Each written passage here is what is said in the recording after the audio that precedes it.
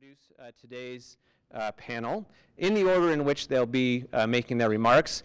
Uh, each of them will speak for about 15 minutes, and then we may have some time for them to react to each other, and then we'll turn to audience uh, questions and um, answers.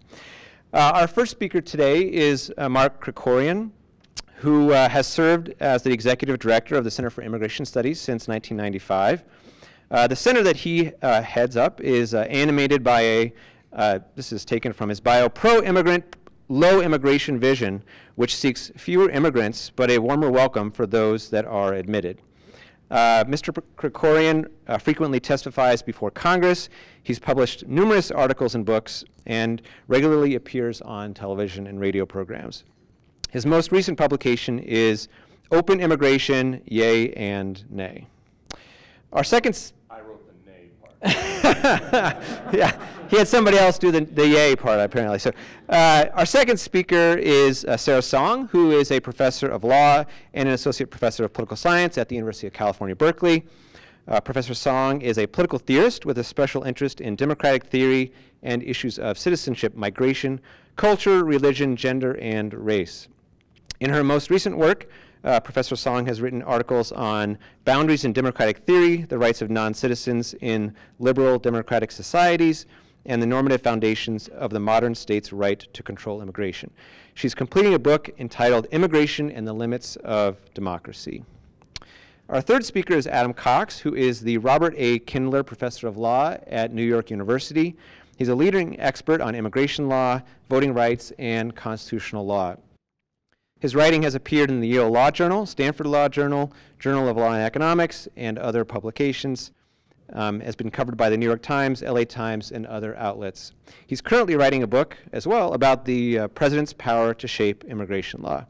Our final speaker will be Rogers Smith, who's the Christopher H. Browne Distinguished Professor of Political Science and the Associate Dean for the Social Sciences at the University of Pennsylvania.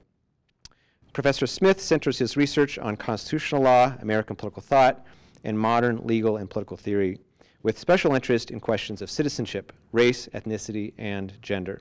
He was elected as a member of the, of the American Academy of Arts and Sciences as a fellow in 2004. So uh, we will um, begin with, with um, Mr. Krikorian, uh, and um, I will, after all the speakers have finished, I will um, take questions from the audience.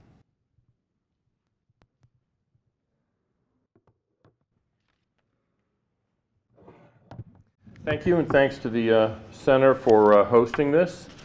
Um,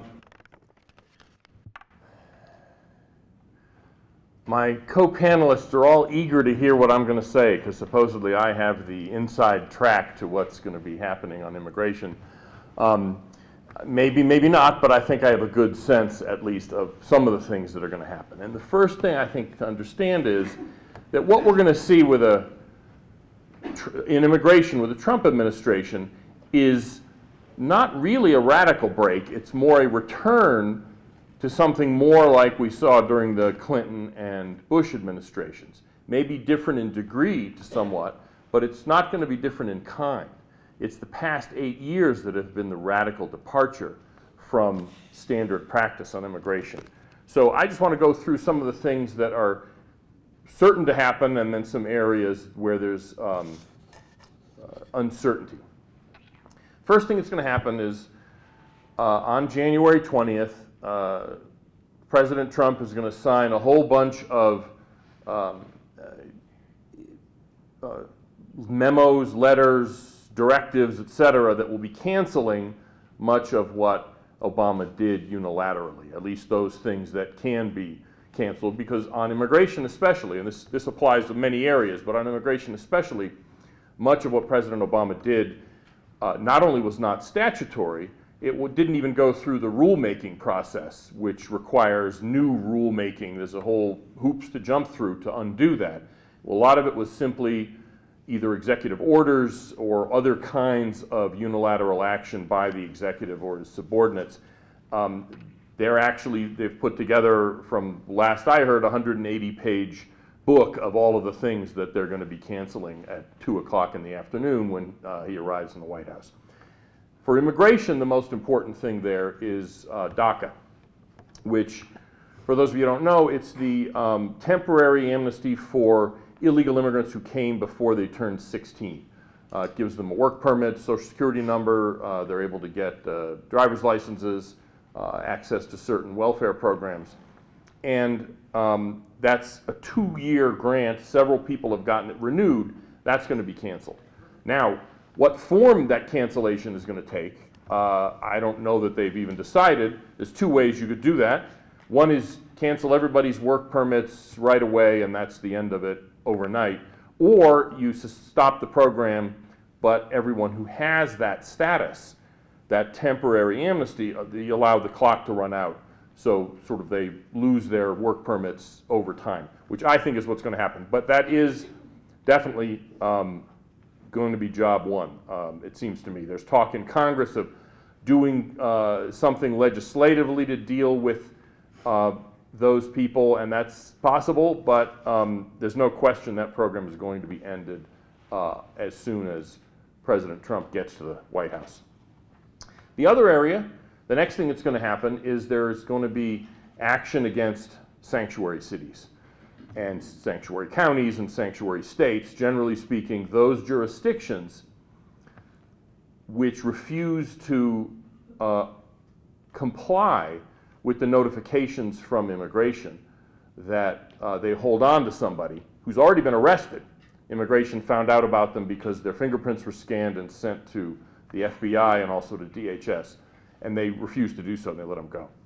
Um, first thing that's going to happen, I think, there is the Homeland Security Department is going to send uh, is going to uh, send a memo saying these aren't optional. They're notifications. They're not requests from immigration which is, again, this administration has muddied the water, then the money is going to be cut off for those jurisdictions that don't comply. Certain federal uh, Justice Department monies are going to be cut off. But a lot of jurisdictions, Chicago and, uh, and uh, California and other places, have said, well, they'll just take the hit, they'll, they'll live without the money, and they're going to stay sanctuary jurisdictions. Maybe. It's going to be interesting to see. I can't tell you there's a certain uncertainty there because there's going to be a certain, they're going to be playing chicken the federal government and a lot of these jurisdictions are going to be in a kind of staring contest. And that'll be, there'll be some drama over the next year. Will the Justice Department sue uh, these various jurisdictions? Uh, it might. Um, that's what the Justice Department did under Obama for jurisdictions that wanted to enforce federal law. So it's entirely plausible you will see lawsuits against jurisdictions that are subverting or attempting to nullify federal law. Uh, and then the sort of nuclear option there is that um, criminal prosecution of the city councils or uh, mayors or whoever's the decision-making body because they are in fact harboring illegal immigrants. They're, they are breaking the law. But who knows what's going to happen. My point is that is one of the top agenda items, dealing with jurisdictions that, uh, like many states in the South in the 60s, refused to comply with federal law. Another thing, well, of course, uh, uh, at every Trump event, he talks about build the wall and make Mexico pay for it. They're going to do something like that, but I've been on probably more of the Mexican border than anybody who isn't a Border Patrol agent. And, you know, there's, that's not quite as easy as it sounds. Uh, that's going to be, um, uh, I think President Trump is going to find out that that's not something that you can snap your fingers and make happen. Uh, and, and this is just me talking now, I'm not even sure, honestly, that it's worth it. I mean, it's really more a applause line because the majority of illegal, new illegal immigrants coming to the United States are not coming across the border. 60% of today's illegal aliens settling in the United States is a thousand a day on average that move here. Most of them are coming as visa overstayers. Um, and even at the border, the problem is not one of insufficient physical infrastructure or personnel or anything else. It's that the Border Patrol is required by Obama administration policy to let go more than 80% of the people they apprehend. Literally 80% of, or more than 80% of the people that the Border Patrol apprehends, they let go with a piece of paper that says, please show up on such and such a date. And of course they don't. So um, that will end, but the whole, the, the whole wall thing is going to be a story that's going to drag on through next year and probably through the entire president's first term. Because, just as one example of the difficulties here, Texas is one place that has less fencing or any kind of border barriers than the rest of the border. Texas is about half the border. It's a river border, so it's, the terrain is harder to build fencing.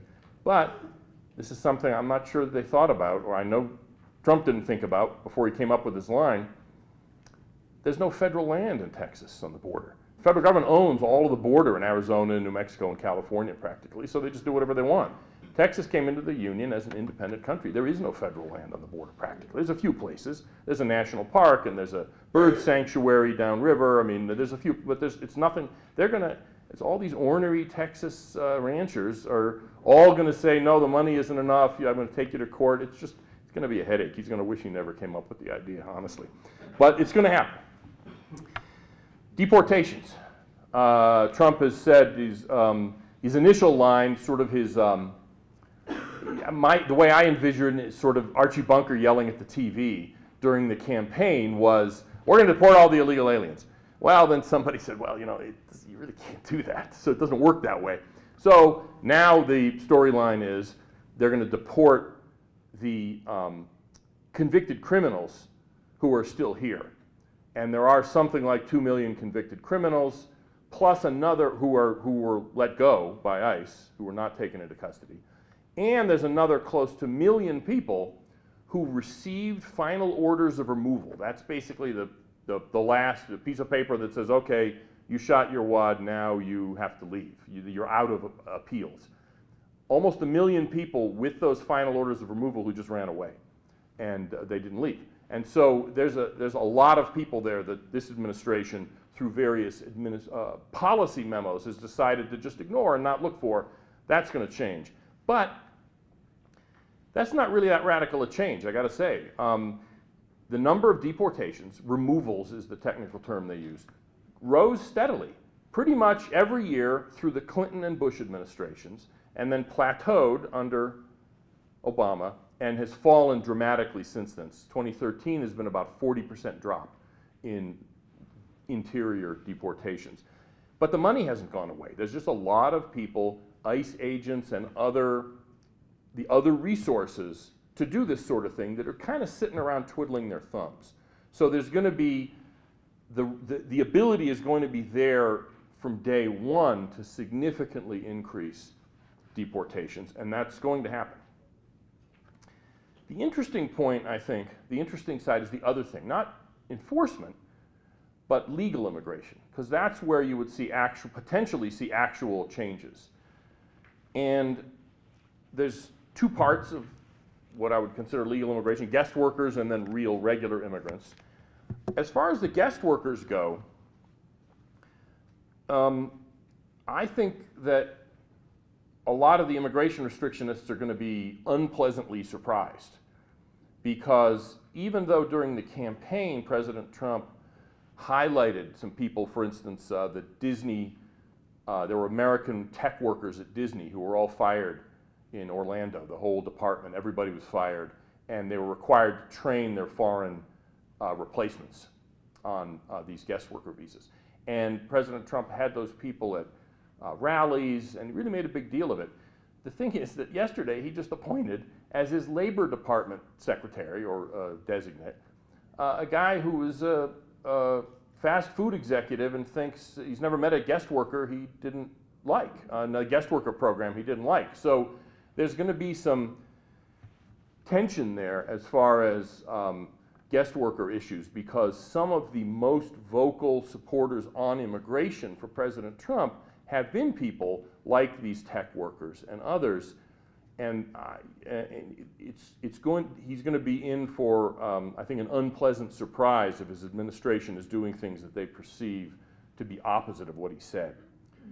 And then there's legal, regular legal immigration. This is always, he's always mentioned it when he's given a speech or a, you know, a, a, a kind of a long outline of policy. But it's always been the last item and he's always been kind of vague and ambiguous about it. And yet, for the restrictionist organizations, the actual people in DC, I, don't mean sort of somebody in his basement in you know, Omaha uh, typing away on Twitter, but I mean the actual people who do this for a living, legal immigration is the issue, reducing legal numbers, because we take about a million new legal immigrants every year. Now, those people who get green cards, this is legal immigrants who can eventually, after a few years and meet some other requirements, become citizens. Uh, and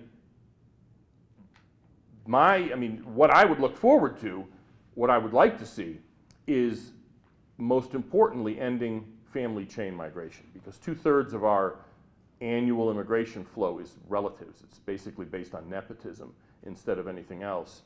And ending the categories of legal immigration that drive future legal immigration.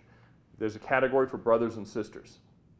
Well, when you bring in brothers and sisters of US citizens who were earlier immigrants, those brothers and sisters have their own siblings. Those, those spouses have parents, the spouses have siblings, the siblings have, it goes on and on. I mean, it's like that commercial, what was it with the shampoo? Tell two friends and they'll tell two friends, or there was some hair color, Clairol or something commercial a long time ago. So that's the way our legal immigration system works. That, though, I think is the area of the greatest uncertainty. I just don't, have never gotten the vibe from Trump that he is all that interested in that. And so I think what we're going to see really is, to, to sum up, I think what we're going to, the overall tenor of this administration on immigration is going to be kind of what you would expect from a Republican administration, which is, a, which is to sum it up in kind of caveman talk, is legal good, illegal bad.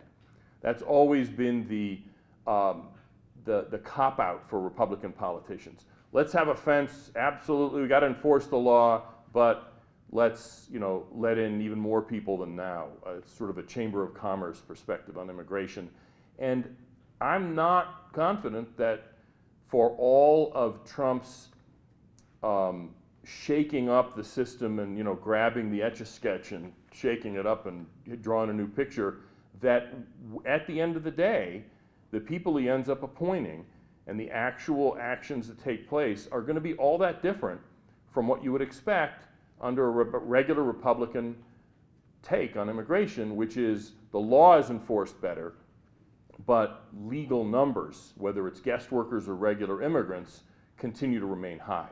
So from my perspective, that's not optimistic, frankly, all that much. But if I had to, you know, my speculation in four dollars will get you a cup of coffee over at Starbucks, but it's uh, it's the it's the least uninformed speculation I think uh, you'll get on at least uh, on this panel about what's going what's going to happen with uh, Trump. So let me stop there, and I'll be happy to respond after everybody else says that I was wrong about everything. So, uh, Sarah.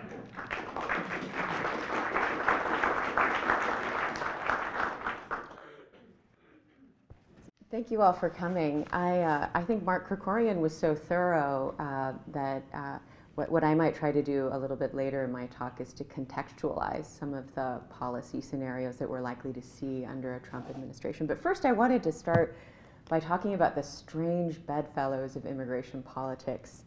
Um, so you may have heard this expression, and it's not just true of the United States. Immigration is a a really important and divisive issue in Europe and in other parts of the world as well. So uh, what you sometimes hear is that the issue of immigration is not uh, aligned with a traditional left-right political cleavage.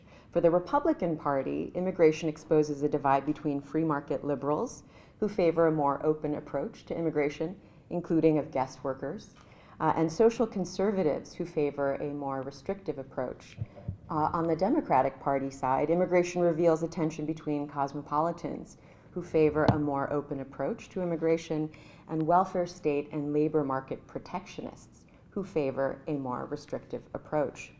So, in light of these tensions, I think in the past, mainstream political parties have tended to avoid acting uh, on immigration or to obfuscate the issue sometimes by talking tough in public, so politicians might talk tough in public while being more accommodationist behind the scenes toward pro-immigration lobbyists and donors. Uh, so the, one of the problems with obfuscation is it amounts to hypocrisy, thinly veiled, and contradiction, making it vulnerable to counter-mobilization. And I think that this is indeed what you saw, or what you're seeing with the rise of far-right parties in Europe and the presidential campaign of Donald Trump. Uh, which tapped into populist anti immigration and also anti immigrant attitudes in the United States. So Trump's stunning victory over Hillary Clinton was due in part to his anti immigration rhetoric, which, as you all know by now, included calls for building a quote, big, beautiful, powerful wall. You have to give him credit, he has beautiful rhetoric, right? Between the US and Mexico, another quote, a total and complete shutdown of Muslims entering the United States. Trump here tapped not only into economic anxieties among American workers uh, seen to be hurt by free trade and immigration, but he also tapped into racial sentiments among those who oppose a more liberal, more multicultural vision of American national identity. So immigration here is framed not only as a threat to working class Americans, but also a threat to American social cohesion and American national identity. Among some Trump supporters, not all, some, the slogan, Make America Great Again, was a kind of dog whistle, signaling discontent with the racial and ethnic diversity generated by post 1965 immigration and the desire to keep America white. So uh, here I just want to shift now to talking about uh, some of the policies that Mark uh, discussed and trying to contextualize them. So he, he talked that we're likely to see very early on rescinding of DACA deferred action for childhood arrivals. And it's, it's interesting though, because just this earlier this week, President-elect Trump, in uh, speaking uh, in an interview, adopted a softer tone on DACA recipients. He said, quote, we're going to work something out. They got brought here at a very young age. They've worked here. They've gone to school here. Some were good students. Some have wonderful jobs, and they're in never, never land because they don't know what's going to happen, end quote. So I'm trying to here uh, interpret this quotation. No fault of their own. They, they were brought here as children. They work here. They go to school here. They have social ties here. And maybe even a fairness component. They're contributing. They're good students. They're working. They're working hard. So these are some of the arguments that have been used on behalf of DACA recipients. So I think it'll be interesting to see uh, whether he does deliver and does a complete rescinding of DACA or whether he, as he said, going to work something out. It's hard to know what that means. Uh, on the pessimistic side, his pick for Attorney General, Jeff Sessions, has been a staunch opponent of these executive actions taken by President Obama. A bipartisan group of senators, recently the Democratic uh, Dick Durbin and the Republican Lindsey Graham, are working on legislation to keep the status of DACA beneficiaries intact. Uh, UC uh, at the University of California, our president is Janet Napolitano, former head of this, sec she was the Secretary of Homeland Security, and she has recently publicly written and spoken out in defense of DACA as a reasonable exercise of prosecutorial discretion. So now I want to shift to talking about deportations, uh, which Mark talked about, and priorities uh, in whom uh, the administration deports. And as Mark emphasized, it's important to note that actually President Obama has deported more immigrants than any other US president. Between 2009 and 2015, his administration removed 2.5 million people through immigration orders. Uh, since 2014, however, his administration adopted something called the Priority Enforcement Program, which made it the very highest priority to deport those who had been convicted of criminal violations and uh, deemed to be threats to the national security and public safety uh, as President Obama put it in rolling it out, quote, felons, not families, criminals, not children, gang members, not a mom who's working hard to provide for her kids, will prioritize just like law enforcement does every day. you wonder if any of that President-elect Trump would be sympathetic to when he was talking about, you know, they were brought here as kids, they're working here, they're going to school, uh, school here. Uh, so in 2015, 90% of those removed were previously convicted of a crime. Um, now, it's hard, it, it, seems maybe Donald Trump will scrap that priority, uh, and uh, although he has been talking tough, as uh, Mark Krikorian said, about uh, really wanting to prioritize those who ha are, have have uh, been convicted of, of crimes for and uh, but he, he could also define criminal violations for immigration purposes more broadly. It could include minor traffic violations. It could include opening carrying open liquor in a public place, right? So. Um, I, I, for, for the sake of debate, would like to hear more about Mark Krikorian and the Center for Immigration Studies advocacy of uh, scrapping prosecutorial discretion and reinstituting what had been in place before, which was secure communities, which uh, doesn't seek to prioritize in that way, and whether, uh, you know, what the rationale for that is, uh, and what's wrong, as Janet Napolitano said, with reasonable exercise of prosecu prosecutorial discretion in whom it is that we target for deportation. On sanctuaries, I think it's important to keep in mind one motivation for, quote, uh, sanctuary city policies has been to encourage unauthorized migrants to feel secure going to the police for help or cooperating if they have information that can aid law enforcement. So in a sanctuary city, police and municipal employees may be instructed not to inquire about an individual's immigration status, and the city's resources are not allocated to enforcing federal immigration laws. So when, when you hear, oh, the Trump administration is going to go after states and lo local officials who resist enforcement of federal immigration law, I think there's a reasonable debate to be had about what tools state and local governments have uh, based on rule, core rules of federalism to resist uh, federal um, uh, enforcement, of, so participating in federal enforcement of immigration law. And so if you think about uh, conservative judges who have sought to protect states' rights, rights against progressive federal legislation, we might look to a couple of precedents. The 2012 case involving, involving uh, the Affordable Care Act, the Supreme Court held that the federal government cannot coerce state and local governments with a financial gun to the head where the funding condition is unrelated to the original funding purpose. Uh, in another case involving parts of the Brady Act, the gun control legislation, Printz versus United States, the court struck down provisions of the Brady Act requiring state and local law enforcement to do background checks. And Justice Scalia, right, who Donald Trump has praised as a, an ideal uh, Supreme Court justice, articulated the anti commandeering principle that says the federal government cannot require state officials to enforce federal law. So I think there's room for debate about what room there might be for state and localities to resist. Um, moving on. Uh, the border wall, I don't have anything to add to what Mark, Mark Krikorian said. Be very, very, very, very expensive. It'd be interesting to see what re Republican lawmakers have to say about whether that's the best use of federal resources. Um, and then this working in the long term to reduce levels of legal immigration. Uh, and uh, so I know there's a, an economist at Harvard, George Borjas, who has recently uh, written a book, but he's written several books um, arguing that the U.S. immigration policy, when you're talking about green cards or admission for legal permanent residents, should follow more the Canadian model, which is based on a point system and seeks to bring the world's talented to inside their borders based on you know, high levels of skill. What are they going to, how are they going to serve the national interest? I mean, it's interesting to note, though, if you actually look closely at the numbers, about two thirds of legal immigration into Canada for permanent residents is also family based, right? You have to look carefully at how the government counts um, who is admitted.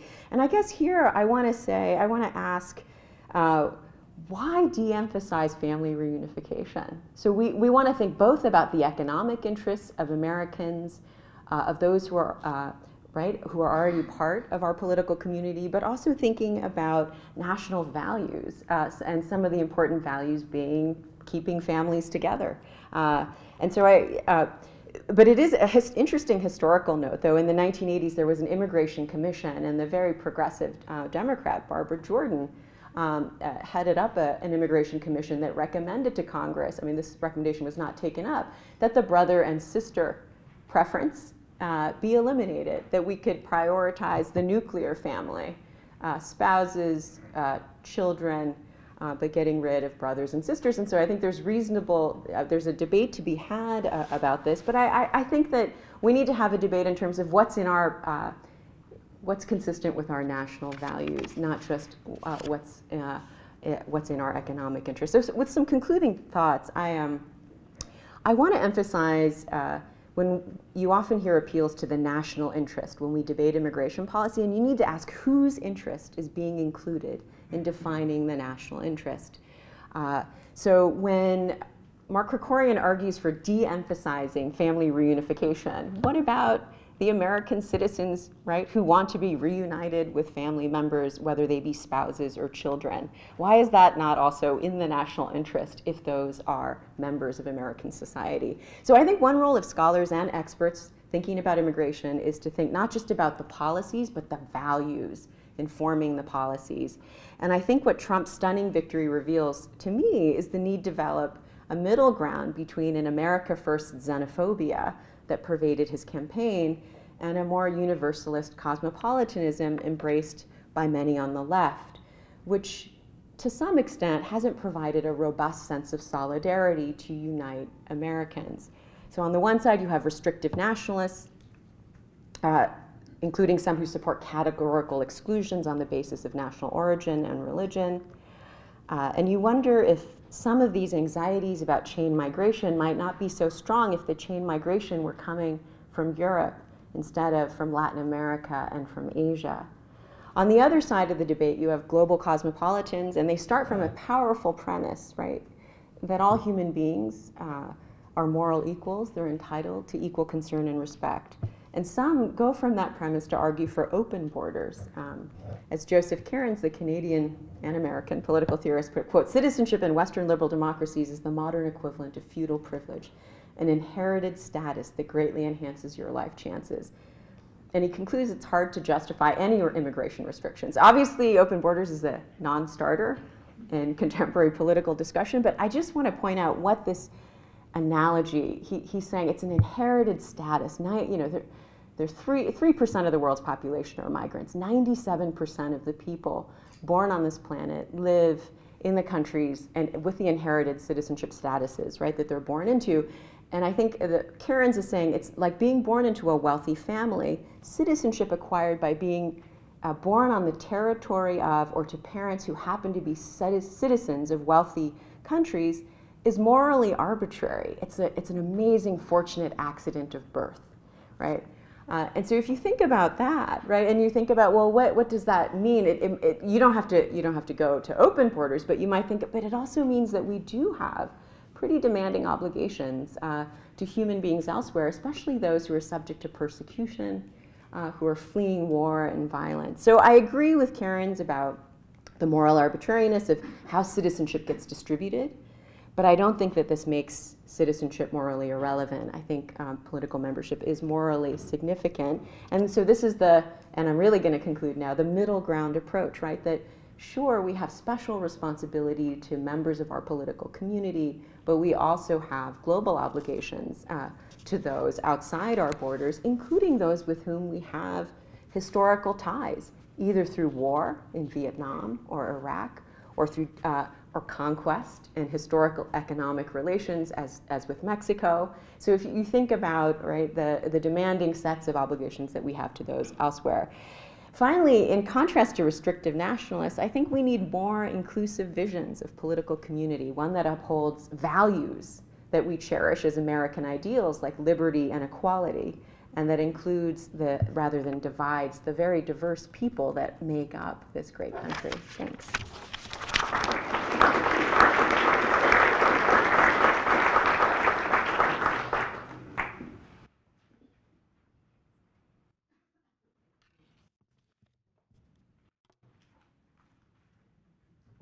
Thanks so much for having me here. And I, I want to pick up actually um, really right where Mark and Sarah left off because they both spent a lot of time talking about two things, I think. Um, kind of the concrete policy consequences that we might expect from a new presidential administration, and also more generally about the politics uh, and ethics of migration.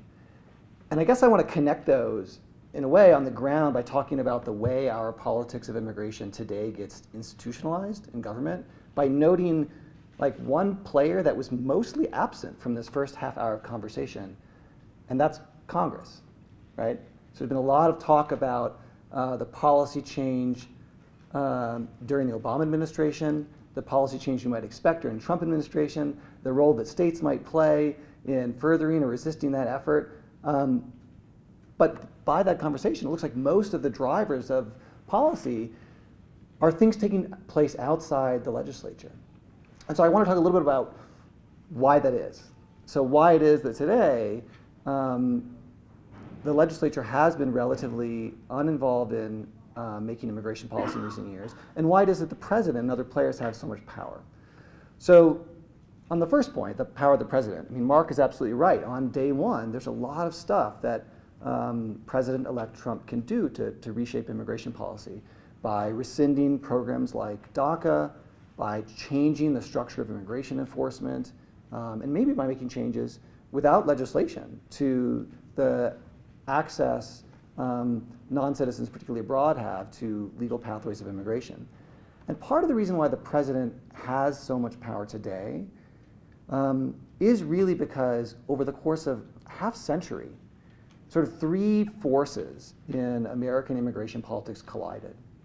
On the one hand, over the course of the 20th century, um, American immigration law shifted from you know, a kind of small system that mostly screened migrants at ports of entry in places like San Francisco and New York, and where land borders were basically unenforced, um, to a large law enforcement bureaucracy with tens of thousands of enforcement agents capable of enforcing the law, not just along uh, the border or at ports of entries, um, but throughout the country. Which we built a giant enforcement bureaucracy. At the same time, American immigration policy um, changed its basic character. Uh, so we used to mostly just ask who immigrants were when they arrived. And we decide what qualities the state wanted and what they didn't. And those choices were not always pretty, right? The first federal immigration laws that excluded people excluded them on the basis of their race and ethnicity. But most of those decisions were made kind of at the front end of the system. And once people took up residence in the country, that residence was generally permanent. But over the course of the 20th century, more and more that changed, and more and more we placed expectations on immigrants for how they behaved after they came to the country. And we told folks that if they engaged in particular conduct, if they were convicted of a crime, expressed support for designated terrorist organizations, or sometimes for political parties, um, or engaged in other kinds of conduct that the government didn't like, then they might be subject to removal. And so we basically built a deportation state, as well as an immigration bureaucracy generally. So with the deportation state in place and a large bureaucracy, in the final quarter of the 20th century, we witnessed those two uh, legal forces colliding kind of with a, a, social force, which was the rise of unauthorized immigration, right? beginning in the late 60s and sort of accelerating throughout the 1970s and 80s and 90s.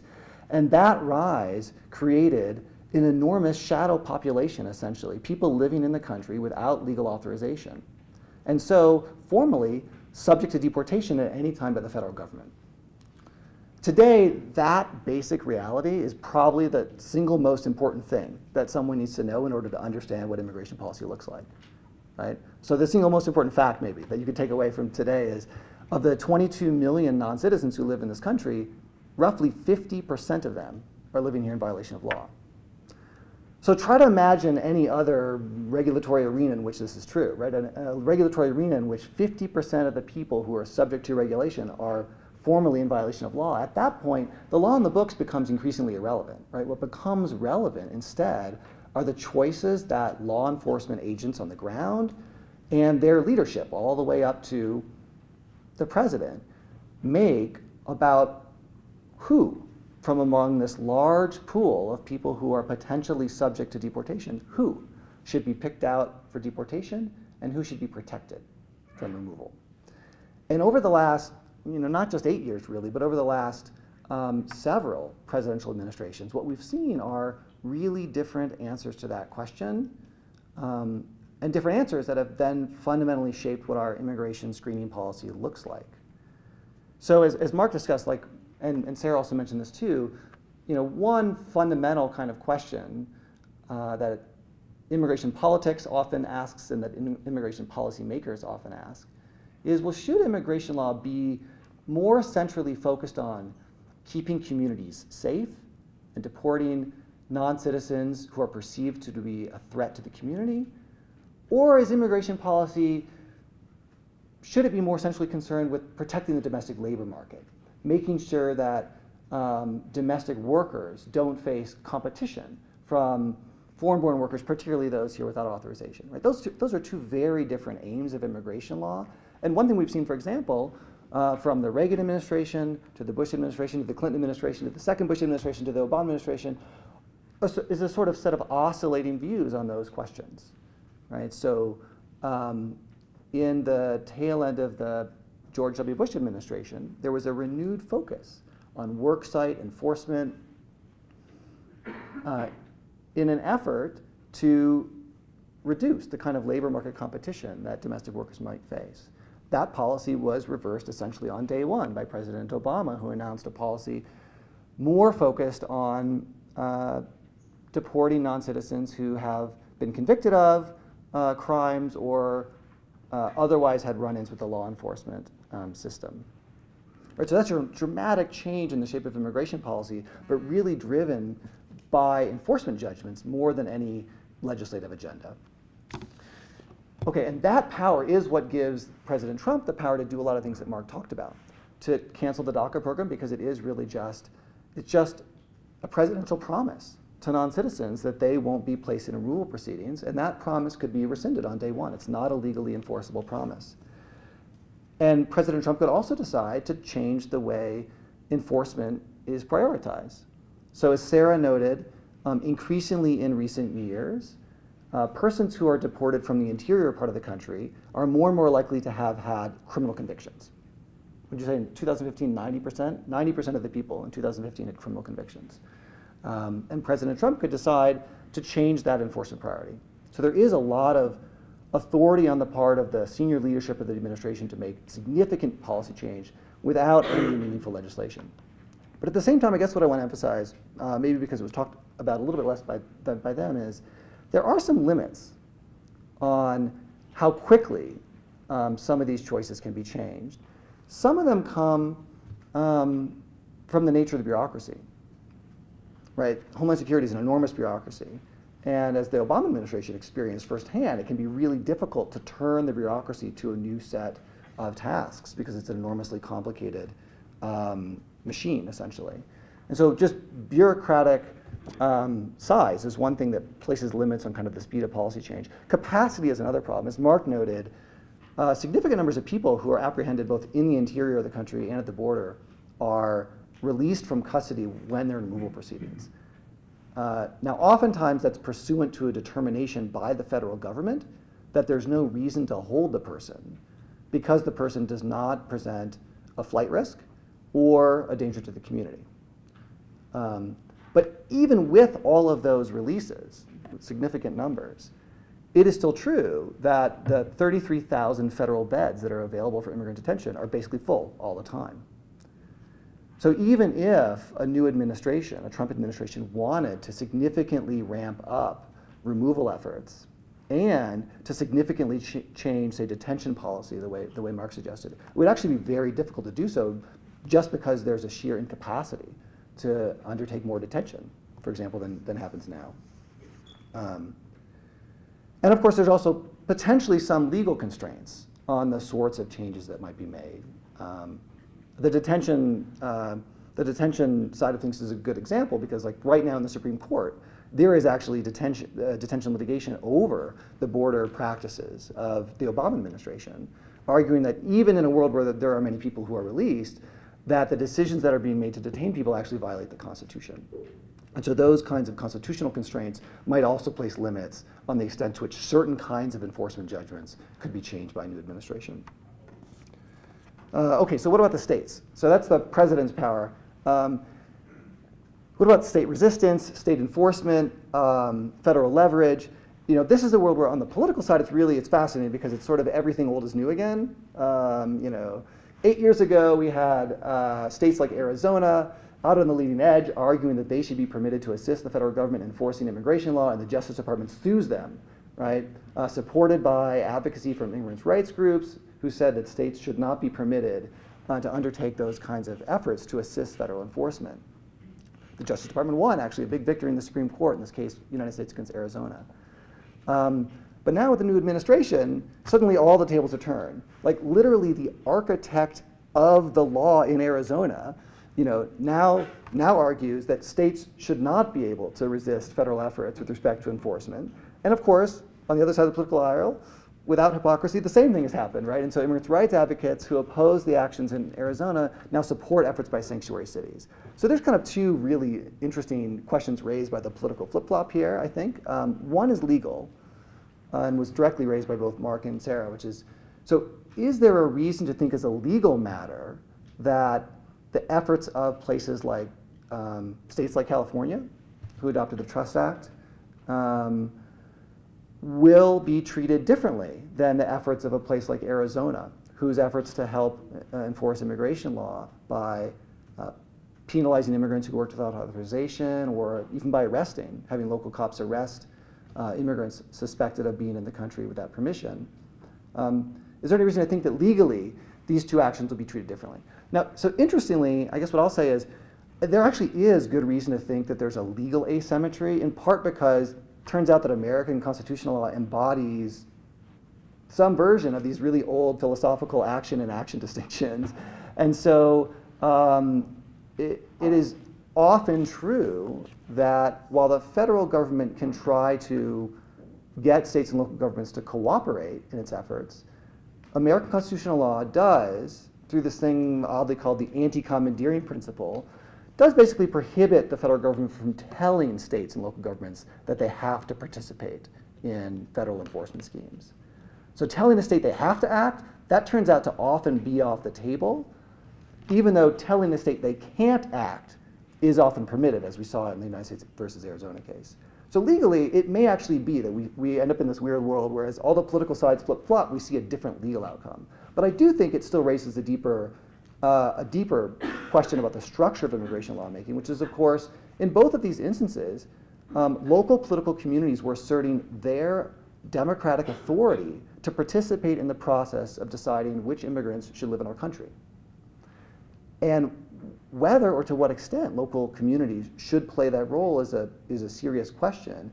And there it is somewhat harder, actually, to figure out uh, how you could square the asymmetrical view, the view that says it should be okay for communities that want to include more immigrants to have authority in the political system to express those views and act on them, but never okay for communities who have different political views about the right structure of an immigrant screening system to express those.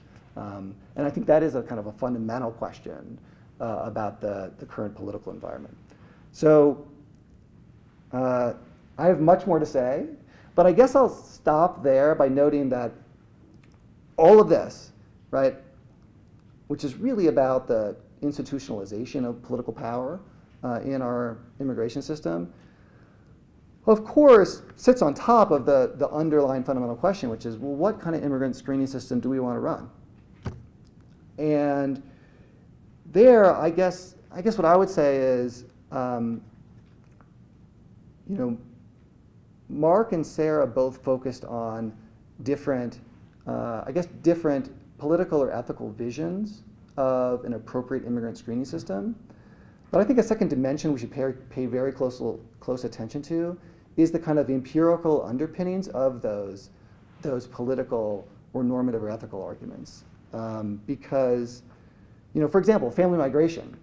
It got talked about as a dichotomy. Should we like labor migrants or family migrants? you know, who produces better economic outcomes for the country. But that might be actually a false question.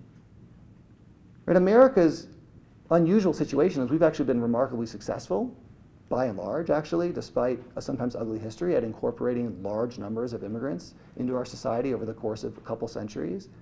And we actually know very little about the extent to which that economic and political and social success has to do with the, the fact that immigration was often based on family networks. It could be that it has very little to do with that success, but it could actually be deeply connected to it, right? Because existing family networks provide credit mechanisms for immigrants who are arriving, social networks that they plug themselves into. Um, and so I guess I would just urge us as we think about the sort of the top level sort of uh, normative choices, like should we pick an immigration policy that's most economically beneficial to insiders or one that respects cosmopolitan values, we should, we should not forget that actually connecting those top level choices up to concrete policies requires a bunch of empirical judgments about which we um, often disagree and sometimes know very little. I'll stop there.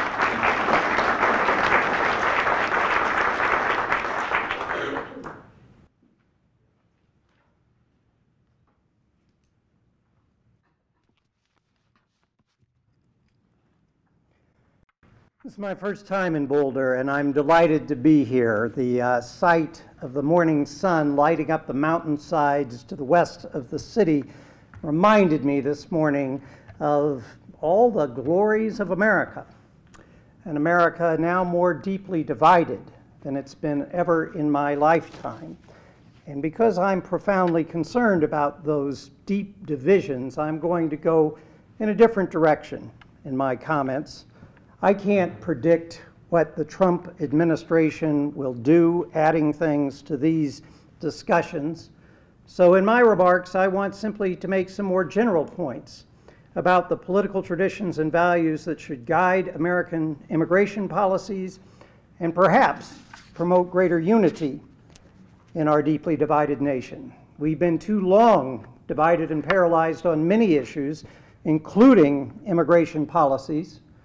And in the wake of the 2016 election, debates over immigration policies have become even more intertwined with assaults on politically correct multicultural conceptions of American identity, including Donald Trump's criticisms of Mexican and Muslim immigrants in ways that to many continued the racially and religiously tinged exclusionary themes earlier expressed in his challenges to Barack Obama's citizenship.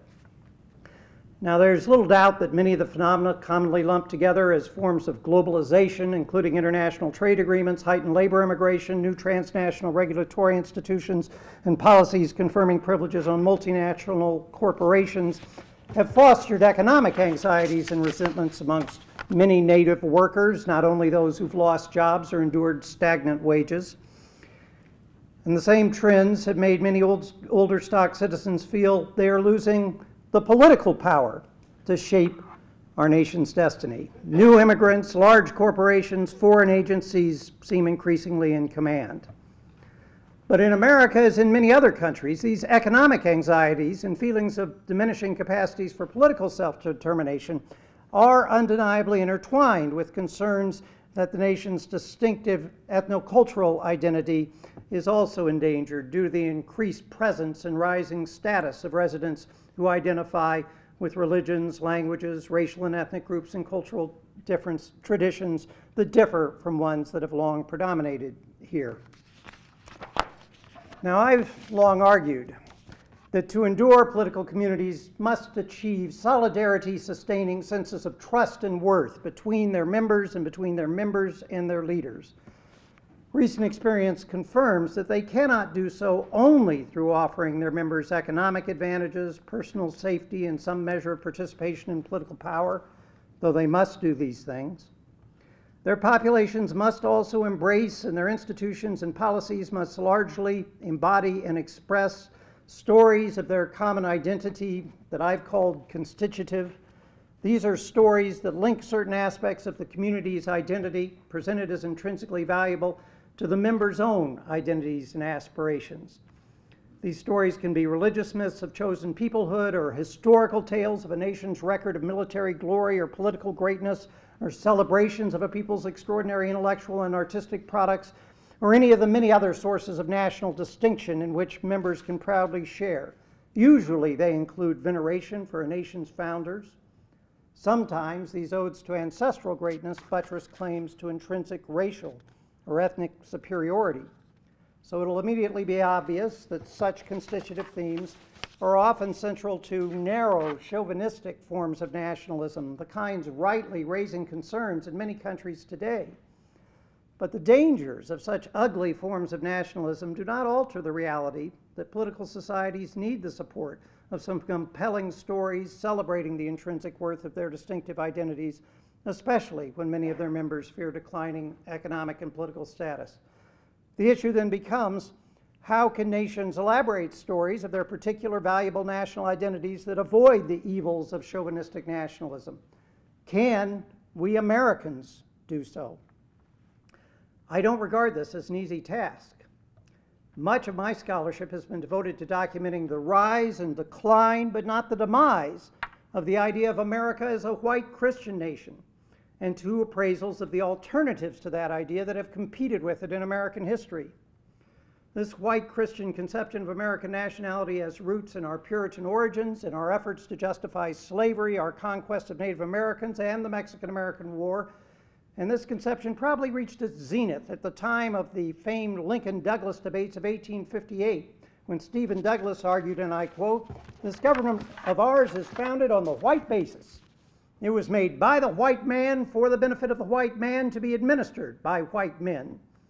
Douglas proclaimed himself, quote, opposed to taking any step that recognizes the Negro man or the Indian as the equal of the white man.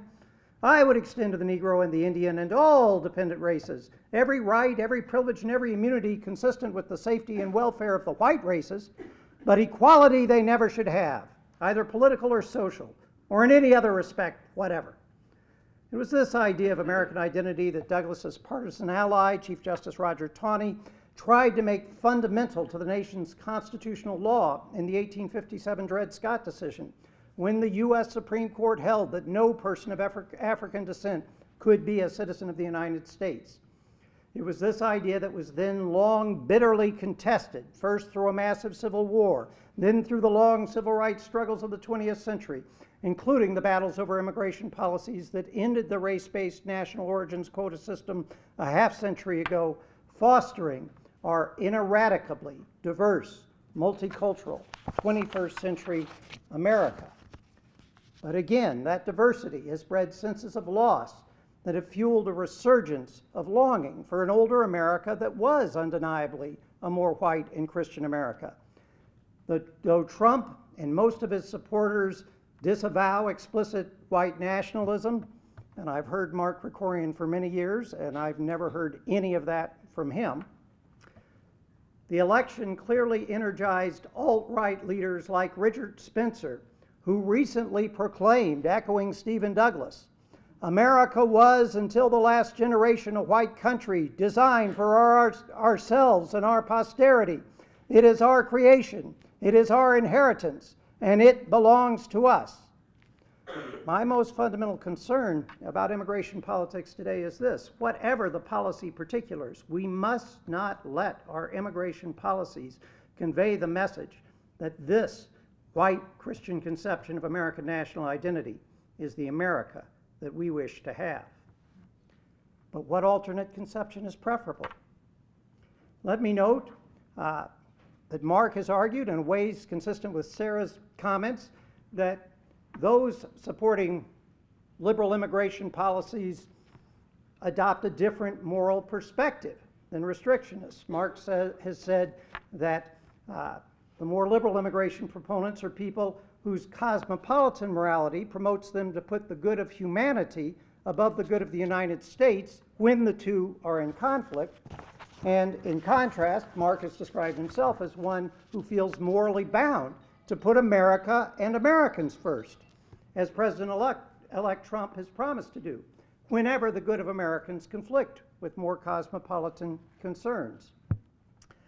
I believe our best guide amongst our American traditions, our best story of America is, as Sarah was suggesting, neither purely cosmopolitan nor purely America first. It is the idea of American identity that was first elaborated to combat views like Stephen Douglas's. In the antebellum era, proponents of anti slavery constitutionalism, including Lysander Spooner and Frederick Douglass, began elaborating then rare narratives of the American nation as dedicated to a quest to realize the promises of the Declaration of Independence for all over time. This was the story that Abraham Lincoln and the new Republican Party came to champion more and more fully against the Democrats of Douglas and Taney in the 1850s and 1860s.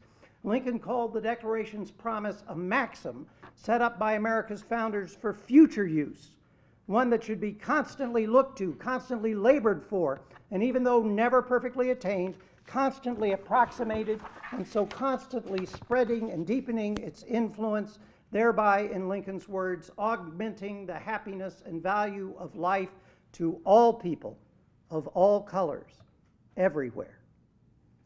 And Lincoln called for the American people to see the task of realizing these goals of the Declaration of Independence as, in his words, the apple of gold at the center of the Constitution's silver frame, the heart of what Americans seek to achieve.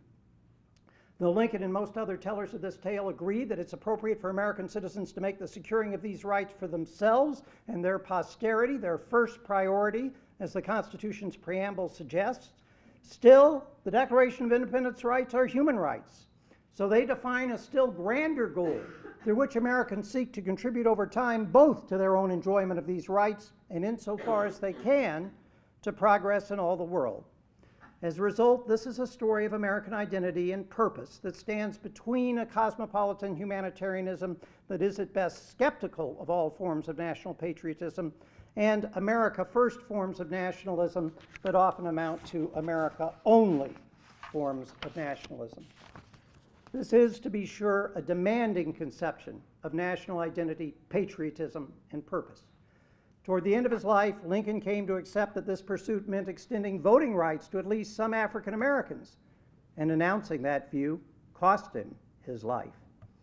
After his death, his party wrote principles of racial equality, including equal economic, political, and juridical rights, into the Constitution and into new federal civil rights statutes but we are still far from realizing all the promises of those amendments and statutes.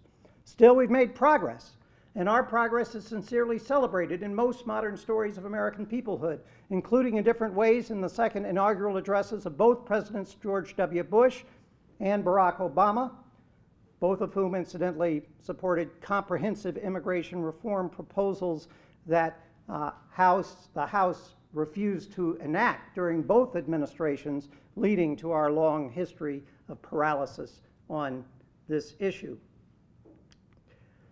But this story of America as a people with a distinctive, continuing, long term historical quest to help bring meaningful possession of the rights of the Declaration of Independence, first to themselves and their posterity, but ultimately to all people, this story was missing from both candidates in the bitterly divisive 2016 campaign.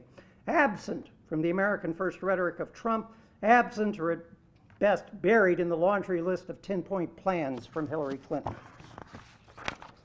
I submit this is the sense of American identity and purpose that should guide our immigration policies and indeed all our policies.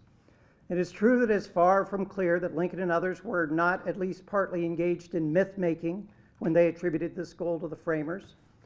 But it's also true that if it began as myth, this story of who Americans are and what they are seeking to achieve has since been widely embraced by both major parties and many social movements, and increasingly identified not just with legally conferring formal rights, but adopting policies and practices that make the meaningful enjoyment of those rights real. It is a story that provides a much more morally inspiring sense of the intrinsic worth of American peoplehood than the more purely economic accounts favored by many centrist and left critics of multicultural ideas. And it is an idea of a greater America than an America that simply puts itself first. Because this story of Americans as a people joined in pursuit of a mission defined in the Declaration of Independence can sincerely be embraced by adherents to both the nation's major parties by conservatives, liberals, even some radicals, by a wide range of religious believers and secularists, and by the native born and the foreign born alike, no other story seems likely to do as much to help us move beyond of our beyond our current destructive divisions. So I ask of our policymakers, I ask of all of us, can our preferred immigration policy positions be plausibly defended in terms of service to this overarching goal of our nation? Or could different policies do even more to make genuine opportunities for pursuits of happiness possible for more people in America and more people of all colors everywhere? Major infrastructure spending, for example, could help spur long term national economic growth, provide jobs for displaced American workers, and reduce pressures to break up families and lives via mass deportations because we'd need immigrant labor too. And instead of punishing immigration receiving citizens, regard, cities, regardless of their policies, more national aid to cities that face large influxes of new immigrants to help those cities and their new residents flourish might relieve the economic and social burdens that some immigration receiving communities do face while also advancing long term growth and innovation uh, because I believe with Alexander Hamilton, immigrants bring lots of new ideas and they get the job done. So I believe there are a wide range of win-win policies for both native-born Americans and immigrants that we can find if we are serious about pursuing this sense of our national purpose. But the objection will be made, what about all those unauthorized immigrants, mostly Mexican, who jumped the lawful immigration lines to get into this country? Here I have an argument that will be less appealing to many of you, but I believe it is the same argument. If we see American peoplehood as Lincoln did, as a distinctive national project of human betterment that we inherit and carry forward in our own time, then we must see ourselves as the heirs and beneficiaries of what American governments have achieved in our past and as the heirs and trustees of the moral responsibilities their achievements have incurred. We must recognize that we are the heirs, in many respects, the fortunate heirs of a national project that has included many uses of national coercive powers to shape the hopes, the pursuits of happiness, indeed the very identities of many whom we do not recognize as our fellow Americans but for whom we should accept special responsibilities if we are indeed committed to using our power to promote pursuits of happiness. This means we should recognize special responsibilities to Mexicans. The U.S. acquired half of Mexico's landmass, including parts of Colorado, through a war that the first two Republican presidents, Abraham Lincoln and Ulysses S. Grant, condemned as unprovoked and unjust. In the ensuing century, American national and state governments often aided Mexican governments and bribe wielding private corporations to push through coercively enforced land policies and economic development projects that drove many northern and central Mexicans off their small farms and into labor camps in the U.S., where they dug mines, worked fields, and helped build railroads and cities. Periodically, however, especially in the 1930s and 1950s, American national and state governments decided these workers were temporarily not needed and coercively deported them en masse, including many American citizens. As a result, our policies have helped create Mexican populations whose family histories, kinship networks, and economic opportunities extend into the U.S. And when we say to them, hey, you must obey our laws, they say, hey, why didn't you? I think the answer to all this is to give Mexicans special priority in legal immigration queues and in access to U.S. citizenship, solving problems of unauthorization through authorization, special priority over applicants from other countries to whom we do not have such special responsibilities due to our much more limited history with them. Those of us who were born here, shaped in our identities and pursuits of happiness, think American governments should put securing our rights and happiness first, and I agree. But the same logic supports putting Mexicans second, or at least giving them higher priority than many other immigrants whom our governments have not coercively shaped so extensively. I know this prescription is a bitter pill for many to accept, though I think we would all benefit from doing so in the long run. But Lincoln only said the goal of securing the rights of the Declaration of Independence for all, extending them gradually to more and more groups over time, should be constantly labored for. Abe never said it would be easy.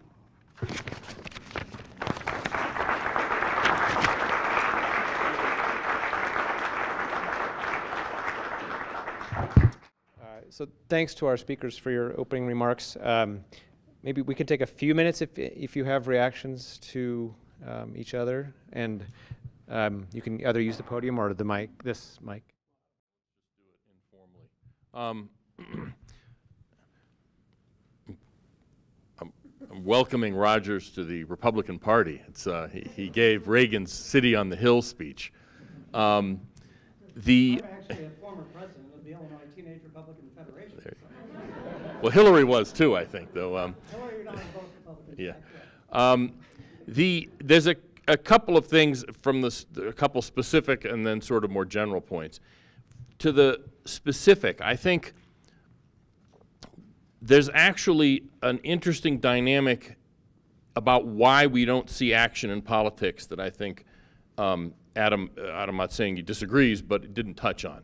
And the basic problem politically in Congress with reaching a, a sort of more equilibrium in immigration policy, one that's it's never going to go away, it's never going to not be uh, a cause of conflict, but something that's kind of more normal area of political conflict, is that is the question of amnesty, amnesty for the illegal immigrants who are here, and not the question of amnesty as such, because as you know, poll after poll shows, uh, tendentiously worded polling, I'm afraid, but they do get to something real that most of the public can live with legalizing the illegal immigrants who are here, only half of whom are Mexican, by the way. Um, the question is, will we repeat the experience we saw in 1986? Because 1986 was the first big amnesty we had, and the point of the deal was we tie up the loose ends of bad policy in the past and go forward in such a way that we're not going to have a problem of this magnitude in the future. We, uh, the bargain was banning the employment of illegal immigrants in the future, which was explicitly permitted in law before that, in exchange for legalizing people who'd been here for uh, more than four years, really, and then farm workers who had been here even less. The problem is, it was a trick. And I say a trick, not just a mistake or something that didn't happen, because it was a conscious lie on the part of the people promoting amnesty and agreeing to the changes in the law, the better enforcement in the future. In 1990, just a few years after the law was passed, once almost everybody who was going to get the amnesty had at least been provisionally granted status, Senator Kennedy and the National Council of La Raza, both of which were at the forefront of that legislation, turned around and attempted to Welshon the deal. They said, okay, we've got ours. We're now going to repeal those enforcement provisions that were, the, that were part of the deal. The only reason it stopped was because Coretta Scott King stopped it. She took an open, she had an open letter to Congress and got other civil rights leaders put an end to that. It's the only reason. So my, the reason I bring that backstory up is that the reason George Bush's push for amnesty and Obama's push for amnesty failed is because there's no reason to believe the people promoting amnesty are telling the truth any more now than they were before. In other words, to put it kind of simplistically, we trusted them 30 years ago. They're going to have to trust us this time. And that's what enforcement first, as a kind of a, a rubric for policy, means. There are a lot of people who, you know, are die hard, we're never going to amnesty nobody, deport everybody. I mean, I get that. I, I understand amnesty is a, it is a bitter pill to swallow. These are people who looked our consular officers in the eye, many of them, and lied about wanting to go back. Not a lot of Mexicans, too, as well as people who jumped the border. Um, but, you know, you have to deal with reality as it is. The problem is no one believes that the bargain will actually be kept. And even Donald Trump, after his initial sort of Archie Bunkerism about everybody has to be deported, has said once we shut down the border, and it's not just the border, but that's kind of a shorthand. In other words, once we fix immigration enforcement, then we'll see about the rest of them or something. I forget the wording he used, but that's the way he put it. So even Donald Trump is an enforcement first, talk about amnesty second person. So my only point here is, and I guess I've rattled on long enough, so I'll just it to that and then I'll respond to what other people say later. But the only point here is the lack of trust that one side will actually keep its word. And I think that's part of a broader, I mean, this is a broader question, but a complete and utter collapse in public confidence and trust in any kind of institution, uh, whether it's academia or the media or Congress or anybody else. Uh, you know, it's the military is about the only institution that anybody has any trust in anymore, which is probably why Trump is loading his cabinet up with retired military officers, which I'm only a little less uncomfortable with than other people. Um, but my point is that lack of trust, they, which is well founded and based on actual reality, is the real stumbling block, I think, to, to, to returning this, to returning immigration policy into kind of a normal policy area rather than what it is now. So I, re- I really want to hear questions from the audience. So I just wanted cou- really briefly two things. Um, and what I, I think what Mark is getting at is uh, what uh, Linda Bosniak, who's a, a law professor at Rutgers, has called uh, hard on the outside and soft on the inside. That if we are going to have legalization or amnesty for those who are here, right, un- of the unauthorized migrants, that we have to be serious about border enforcement. And when he's talking about violations of trust, that right, that that needs to be, and and um, in a way. Uh, I think part of what maybe Rogers was articulating is a kind of progressive vision that prioritizes the interests of those who are already here, but he's also pressing on the need for inclusion based on historical ties, uh, for example, between the United States and Mexico. And so I'm married to a, a third generation Mexican American who grew up in California, and I'm an immigrant. I immigrated to the US. My father came on a religious worker visa. Uh, and when I think about I mean, I think my husband's grandparents' claim for inclusion or uh, migration into the U.S. was much more compelling and strong than uh, my father. My parents could have had a, a, very fine life in South Korea. They just wanted uh, a, a, different opportunity, more opportunities, uh, and and I so I, I, think it's important to set priorities, but also to recognize that we do have distinctive obligations uh, based on our historical relationships, especially between the U.S. And Mexico. Uh, and then uh, finally, the, what Adam was saying about, yeah, we have to be careful of dichotomies. We want skilled workers, but not families. You know, we, we want workers, but workers are often embedded in families. So, you know, how do we? You workers are humans too, and they have relationships. And so it, I think um, it's, it's, it's very complicated, and it's, it's uh, elegant. It might be elegant to have these normative categories, but the empirical realities are very messy. Yeah, I, I also just, I'm excited to get to your all questions. So I'll just make uh, one follow up point to what Mark just said, which I think is right. Like, I described this big shadow system, but didn't really explain the political economy that might have produced it, because you might have just wondered, well, why, why did the, the officials in charge of the system at the time permit such high levels of unauthorized migration? And there are kind of two ideas, right? Sometimes you hear people say sheer incapacity. The reason we ended up in the situation we ended up in is, is not because anybody wanted it, but because there was no other possibility. Um, but other times, you hear people suggest the possibility that it actually was in the interests of, if not all of us, of powerful political um, elites.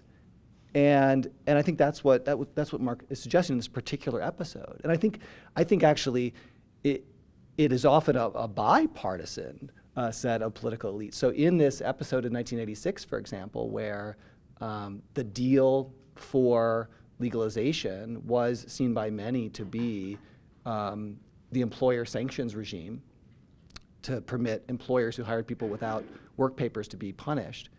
Um, recall, it, it's the last couple of years of the Reagan administration and then the Bush administration that takes this new legislative initiative, the biggest immigration enforcement initiative in a generation, passed by Congress, and just systematically dismantles it. And you look at the enforcement rates under that provision, they rise for a few years and then they just go to zero. And during the George W. Bush administration, there were a number of years where there were literally no employers, like basically two or three, sanctioned under a system when we, of course, all know that there are tens of thousands of employers employing millions of workers who don't have work papers. Um, and so that should make us think a little bit when we talk about the what is it that the insiders want, uh, about the way in which sometimes the system might reflect the interests of at least some set of insiders. Yeah, I didn't mean to Yeah, suggest that yeah. this was just a Democrat thing. I mean, this is clearly, Yeah. uh, under, 2000, what, what Adam's referring to is in 2000, what Adam is referring to is in 2004, in the entire United States, the number of employers who were fined, this is a civil fine, not a criminal fine, but a civil fine for the employment of illegal immigrants was three. Not 3,000 or 3 million or 300 or 30, three only. This is, so, you know, when our on our website, when it says we're nonpartisan, that's not like Planned Parenthood is nonpartisan. Nobody really believes that, or the NRA. Both parties really hate our guts because both parties at the elite level are always, almost always pushing in the other direction. I want us to progress to an open and inclusive community by turning it over to you now. Here's your water. So um, I will open the floor to questions. And before I do that, just um, I really did want to stress um, as you prepare your question to think about the target immigrant group that you're thinking about. So because it's, it's very important that you have um, sort of the terminology and the distinctions right. So we have we've heard about undocumented or illegal immigrants. That's a that's a certain status, someone who has entered or remained in the U.S. without authorization. We've heard about um, temporary immigrants, or in the language of law, non-immigrants, is sort of bizarre, bizarrely. These are individuals that are here temporarily for a period of time, okay, lawfully, temporarily in the U.S. for a period of time. We've heard about permanent residents or green card holders. These are legal permanent residents that have uh, the lawful right to remain in the U.S. indefinitely, essentially, if they haven't, they don't break the law and other things. And then we, and then that progresses naturally to naturalization and citizenship. So we have these four different immigrant statuses, and um, it's important to keep those separate and to think about the target group that your question pertains to. So, yes, sir. I'd like to ask a question, uh, actually about a fifth group of refugees. And uh, what would you consider the uh, chances of Trump adopting a policy of admitting no refugees into the United States and thereby satisfying our concerns for security? That'd be part A. Part B, would the United States would then set uh, uh, refugee shelters uh, in or near the countries of crisis provide them with shelter, food, and medicine.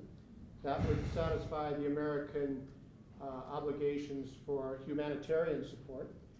And third, uh, we can do that at 12 times cheaper than we can by bringing the refugees actually to the United States. Uh, so to repeat the question for the um, recording, the question is, what are the, what's the likelihood of uh, essentially ending refugee programs to the U.S.? And if so, potential of replacing that program with some sort of refugee assistance in other countries, ascending countries. Other people may have thoughts on this, but um, the uh, just for full disclosure, we're the ones who did the research that came up with this 12 to 1 number. Um, I was on a panel uh, and somebody quoted uh, a Norwegian government official who had said that uh, you know resettling refugees in Norway was just incredibly inefficient because it cost multiple times more uh, to bring them to Norway than it did to help one in uh, the Middle East. And so we looked at the numbers ourselves, and that's what we came up with, was the five-year cost of resettling a refugee from the Middle East is 12 times greater than the UN's identified cost of taking care of them in their countries of first asylum, Turkey and Jordan and Lebanon for the most part.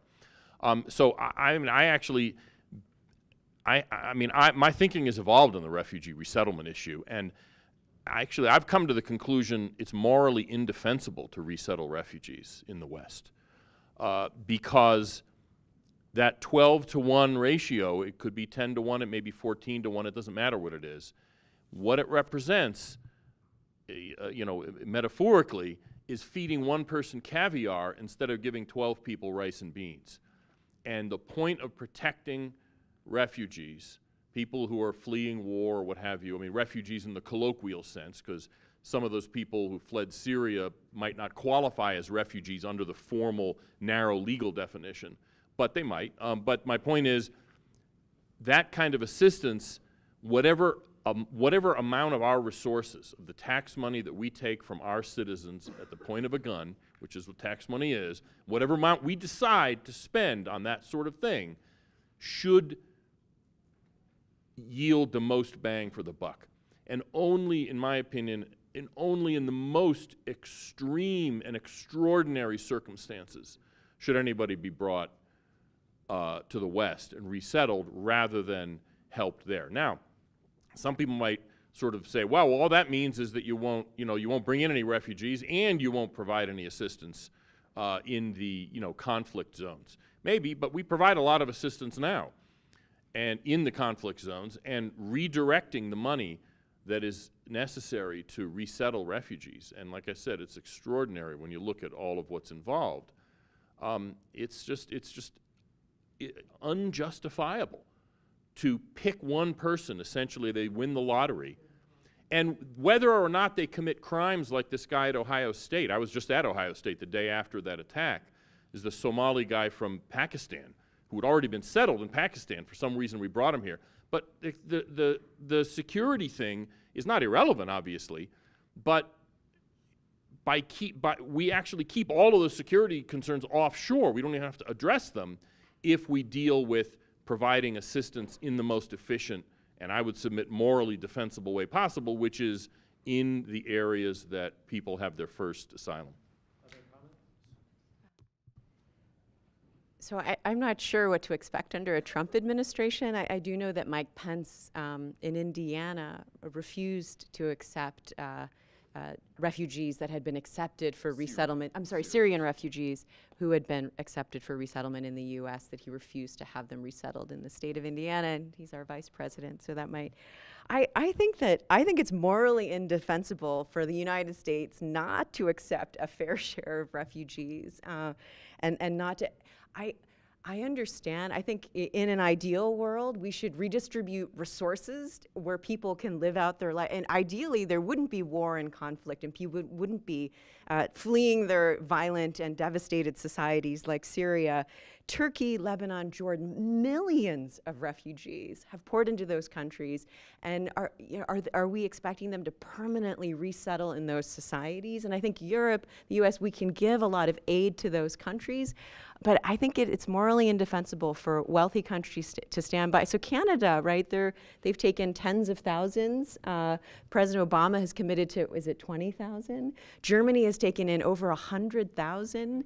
Uh, so, I mean, I, I, think the country of first, the first place where they touch down, we have to look at the conditions and the opportunities. I think it, it's, it's insufficient to say we'll just give some money. Um, Let's take more questions. Yeah, more questions. Okay. Next question. Yes, here. What can be done about the situation that I'm hearing about? Town councilmen and leaders, they're being sent refugees that they have no infrastructure to support.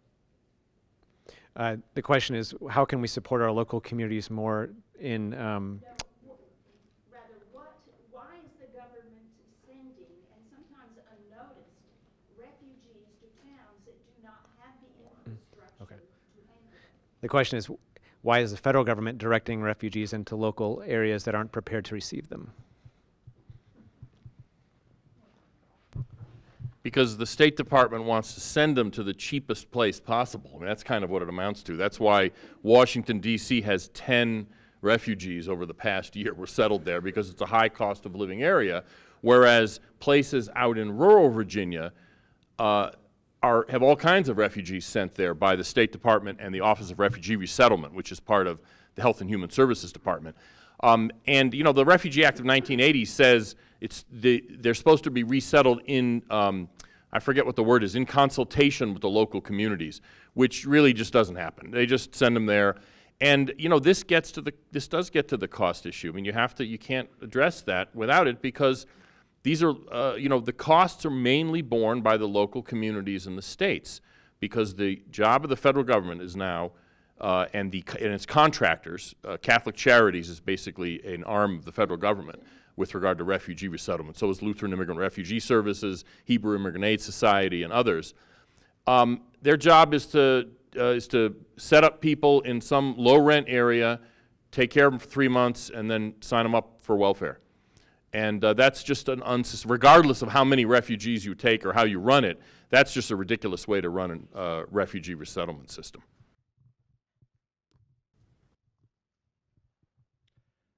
This is an example of uh, what I was uh, referring to uh, when I said that uh, national policies, which might achieve um, moral purposes, diplomatic purposes, economic purposes, if they put uh, lots of costs on local communities. The national government does have an obligation to assist much more than they are doing. I think the consultation provisions should be real, and I agree that they're often not. And I think that uh, we have examples in other countries. Um, Canada uh, is one, uh, Australia to a lesser degree, where there are policies uh, where national funds are used to assist communities in doing more than what Mark rightly said often happens when refugees are uh, sent there. So I'm sympathetic with the concerns of local officials uh, that they uh, should be consulted, and if there's a national policy uh, that's sending people their way, uh, the national government uh, should provide assistance. On the broader question of refugees here or refugees there, I'm pretty pragmatic about that. I, uh, if we, I'm for whatever really works to help them. And uh, if we can help them more where they are, great. I'm also concerned that these countries can't actually take all the refugees that are there. And uh, I don't think that uh, there's a uh, straightforward answer. Uh, either we should take the refugees uh, or we should assist them there. We have to make those judgments in particular cases. Uh, the gentleman in the back in the vest.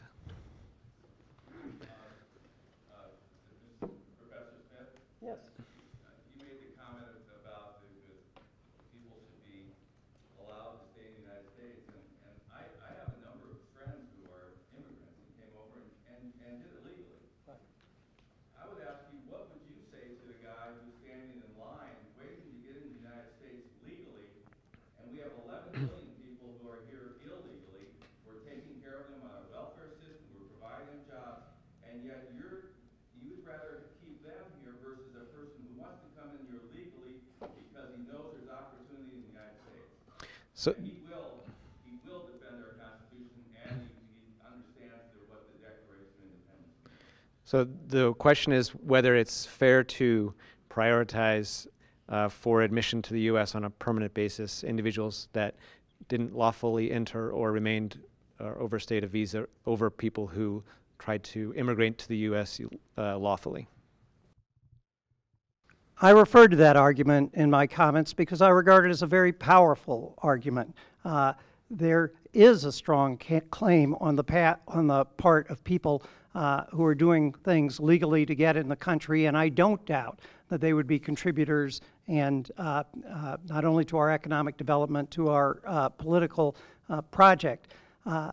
I don't think we can ignore the reality of the circumstances of American policies that have generated much of the illegal or unauthorized immigration uh, po- uh, population that we have. And it is, I'm afraid, uh, to look at it abstractly, ahistorically, and in a way that exempts the American government and state governments for things that we have used our power to do to say, this individual acted illegally, this individual acted legally, end of story. It's a more complex story, but it is not a story in which the moral claims of the person who's in line legally uh, should be dismissed. In politics, we are often in a position of trying to find accommodation amongst competing claims that have some real uh, moral weight. And in politics, we never reach perfect solutions.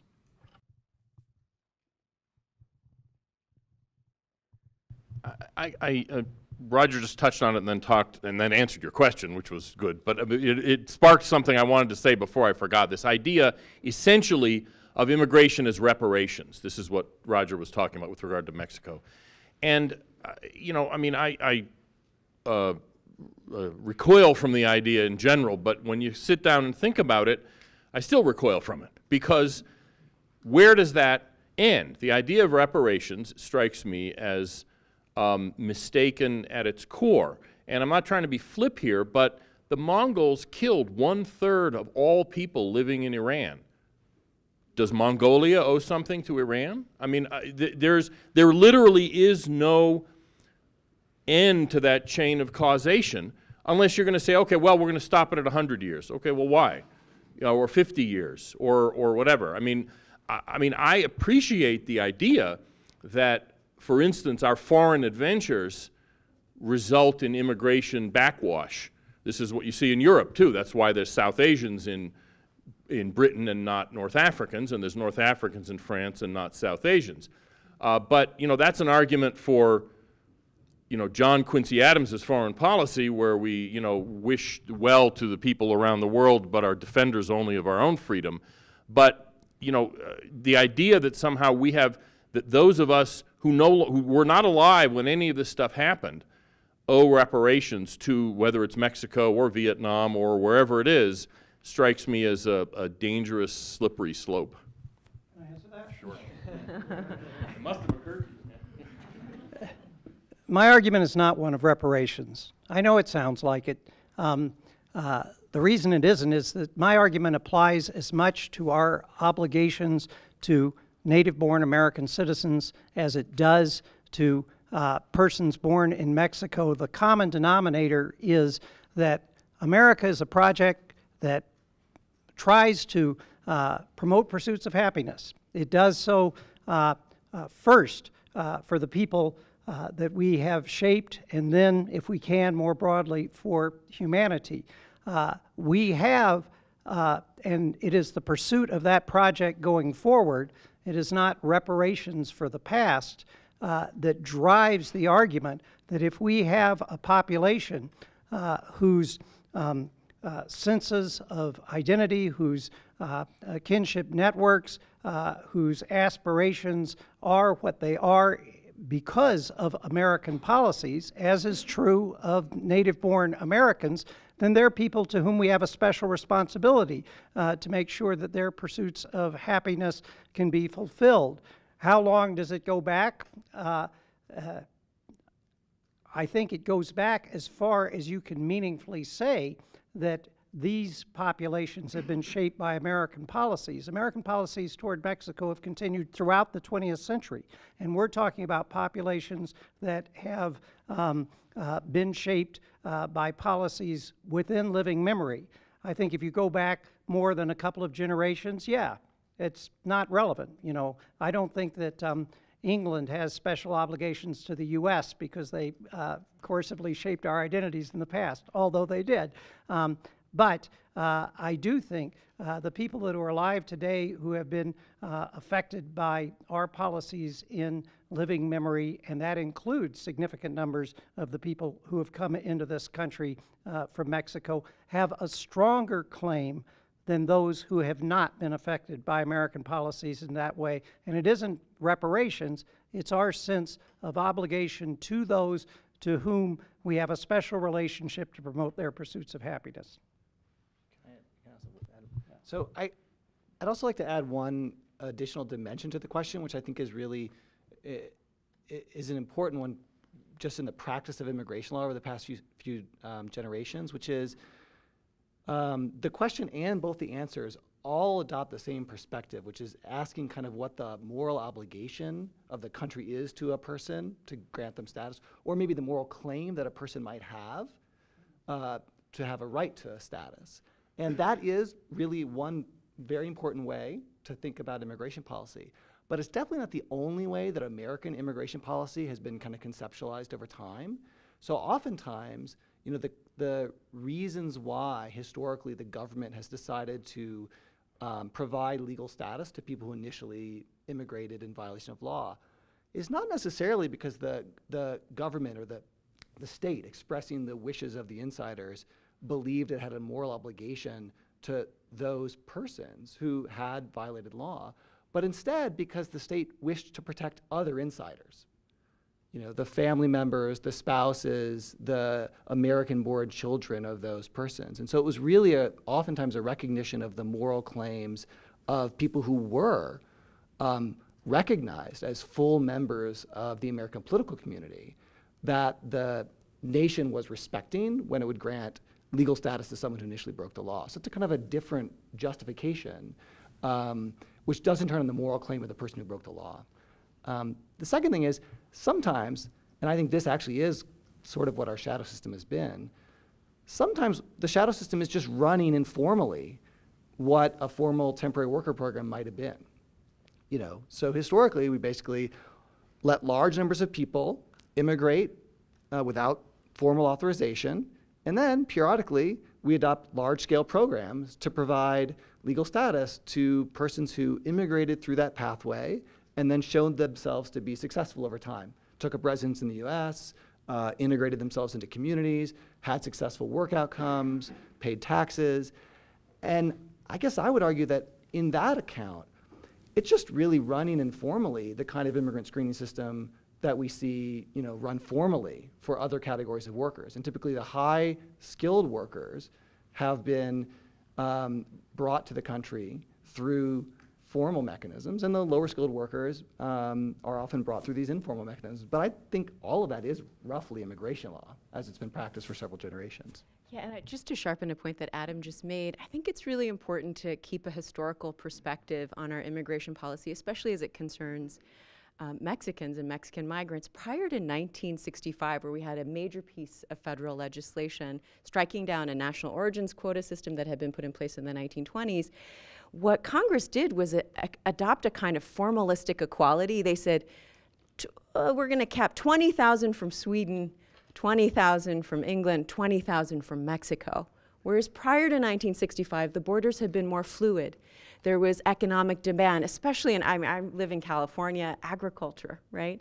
That seasonal laborers would come in and they would, right, come back and forth. There were temporary, uh, informal, sometimes formal, like the Bracero program, bringing in workers, and there was fluid movement back and so, 1965, we say, now, you know, are you a permanent resident or not? And we're going to allocate these visas in, an, in a very formalistic way. When you think about, oh, those longstanding economic and historical and cultural ties, it, plus all of the stuff that Rogers was talking about, our unique relationship with, with, with Mexico, the United States' unique relationship with Mexico. So I think it's really important to keep in mind how did this problem come to be? And in a way, it, it, part of the flaw is in the unimaginativeness of or the, the kinds of policies that we have enacted that have exacerbated the problem, right? The role of our policies in creating these problems is important to keep in mind. Yeah. Could I just, I, I just wanted to add that, um, I lost the train, my train of thought now, I'm sorry. Something about Um, 65? Oh, oh, yeah, yeah, yeah, yeah. The, you know, we're, we need to keep in mind numbers here. In 1970, which is really when the 65 Act's provisions pretty much kicked in, they did it over a period of a few years, there were 750,000 Mexican born people in the entire United States. That was it. Uh, it's now 20 times, no, 17 times larger, I think, now. This is not a problem that pre exists the, the change in immigration law. This is a relatively recent phenomenon. This is the, the, the number of, there just weren't that many Mexicans in the United States, Mexican immigrants uh, in, you know, in the lifetime of almost everybody here in this room. This is a new phenomenon. Um, and uh, so, so the idea that, and when you go even further back, you know, this is, you hear this a lot, Rogers even said it. You know, we took half of Mexico. Yeah, well, they'd had it for 25 years. There were no Mexicans practically living there. There were some colonists from settlers from Mexico who'd moved up from Mexico proper, and there were a lot of Indians. And that was about it. And so, and almost no one who is a Mexican immigrant, Mexican American in the United States today, is, de is, descended from people who were here in the Southwest before we took it over. There are some in southern Colorado and northern New Mexico. There's a handful, there's no question about it, down in the Rio Grande Valley. Um, but there's not just that, there's not that many. Uh, this is, the Mexican immigrant population in this country isn't really that different from the other relatively recent Mexican immigrant populations. Geography makes it different, but you know, other than that, it's not. See, any students? Are you a student? Any students? I know it's we're almost at exam time, so you're probably brains are shot. Anyway, what, go ahead. Um, I'm just curious because we were talking, or, you know, we're talking about how um, we have these immigration laws. Louder, please. I'll, I'll repeat the question. I'll repeat it.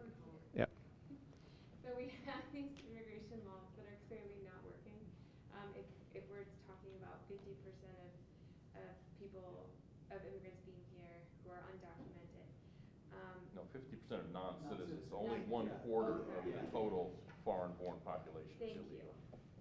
Um, so, and then we're also talking about having, you know, some type of obligation to Mexico. what do you think about having like a more fluid border between the United States and Mexico? Because I mean, there's a huge number of Mexicans who are here that don't go back to Mexico and are almost trapped here because of the immigration laws. And do you think that that is conceivable at any point? I mean, it does seem pretty far-fetching at this moment in time, but um, I would love to hear. So the question is, um, what's the likelihood or uh, maybe some of the benefits or pitfalls of having a more open border between the U.S. and Mexico? Um, wants to go first? That's essentially, as Sarah noted, what we had prior to the 1965 uh, Immigration Act. And uh, it is true that when uh, we put a uh, national legal ceiling on immigration from Mexico that was the same as every other country in the world, including lots of countries that don't send us any um, immigrants, um, it, we created a situation where Mexicans could no longer so easily go back and forth across the border, which they did through much of the 20th century, as Mark pointed out. There was a lot of traveling back and forth. In many ways, this imposition of this ceiling on legal immigration created the subsequent problem of a massively growing unauthorized population because people couldn't go back and forth, and so many of them stayed or overstayed their visas. I think that the argument about special obligation to Mexico argues for greatly increasing the, op- the opportunity for legal immigration to Mexico, and that's one way of meaning that people don't have to come here uh, uh, unauthorized or overstay uh, visas. It's also true uh, that if we uh, had a variety of programs that allowed people to move back and forth more safely, we would probably not have uh, the substantial unauthorized population we do today. Mark may disagree with that. Yeah, I do. Um, and the first thing you have to keep in mind is when the border was a lot looser with Mexico, and when if you go to Big Bend National Park in Texas, it's you sort of feel like what the border used to be because there's nobody there. There's nobody on the Mexican side. There's nobody on the American side. I waded across the Rio Grande myself from Mexico back into Texas. It's not. It's yeah, yeah, I did. No, it was all legal. I went to the port of entry, which was a kiosk that you put your passport in. But anyway, my point is that's the way the border used to be because nobody lived near the border until relatively recently. Uh, a, a populous um, border is a post World War II phenomenon. In 1900, Tijuana had 200 people. The whole of Tijuana, that's it. There was 200 people living there. What's happened, first of all, is significant economic development, uh, aerospace industries in South, uh, Southern California and other things that built these communities, and pulling up people from Mexico through the maquiladoras. The maquiladoras, the point of that was to provide jobs for people in Mexico to prevent immigration to the United States. What it did was create immigration to the United States. Because the maquiladoras were supposed to be in central Mexico where the people are. That's Mexico. Not in the north, which was basically empty the American businesses said, yeah, but then we got to drive all the way down there, and there's cows on the roads, and who knows what, a bandito, Frito Bandito will stop us, whatever. Stupid thing. They said, okay, well then, how about we'll just let them build it all on the border, on the Mexican border, and you'll build your plants in the Mexican border, and that'll be great. Well, what did that do? There were no people on the Mexican border, so they all moved up to the Mexican border. The women got jobs, which is what happens especially in the early stages of industrialization. Women are much more likely to get the jobs and the men came with them and they just kept going. Um, so the, the, the point I'm trying to make is that the border that exists now is in no way comparable to the older situation at the border when it was a lot more fluid and it really didn't matter all that much. The way we get to a point where we have a more flexible border is when Mexico becomes a first world country. I mean, that's really what it boils down to, because you see that in Europe uh, before Angela Merkel invited in a million people from the Middle East, the borders between most of the Western European countries, there was no border policing. You just went across them because they were all comparable levels of development. There wasn't an issue of mass movement one way. Whereas the United States Mexico border is the only border in the world only significant border in the world between the first world and the, and the third world. The only other place, there's North and South Korea, which is a whole different story. And then there's Israel's border with its uh, neighbors, all of which are now marked by concrete pretty much at this point. Um, Mexico, the US Mexico border is the only place where the first and the third world meet. That border cannot become more sort of laid back and flexible and easygoing until Mexico develops to a point, and I think it will and can, where there is a kind of opposite of one way across the border. Oh, yeah.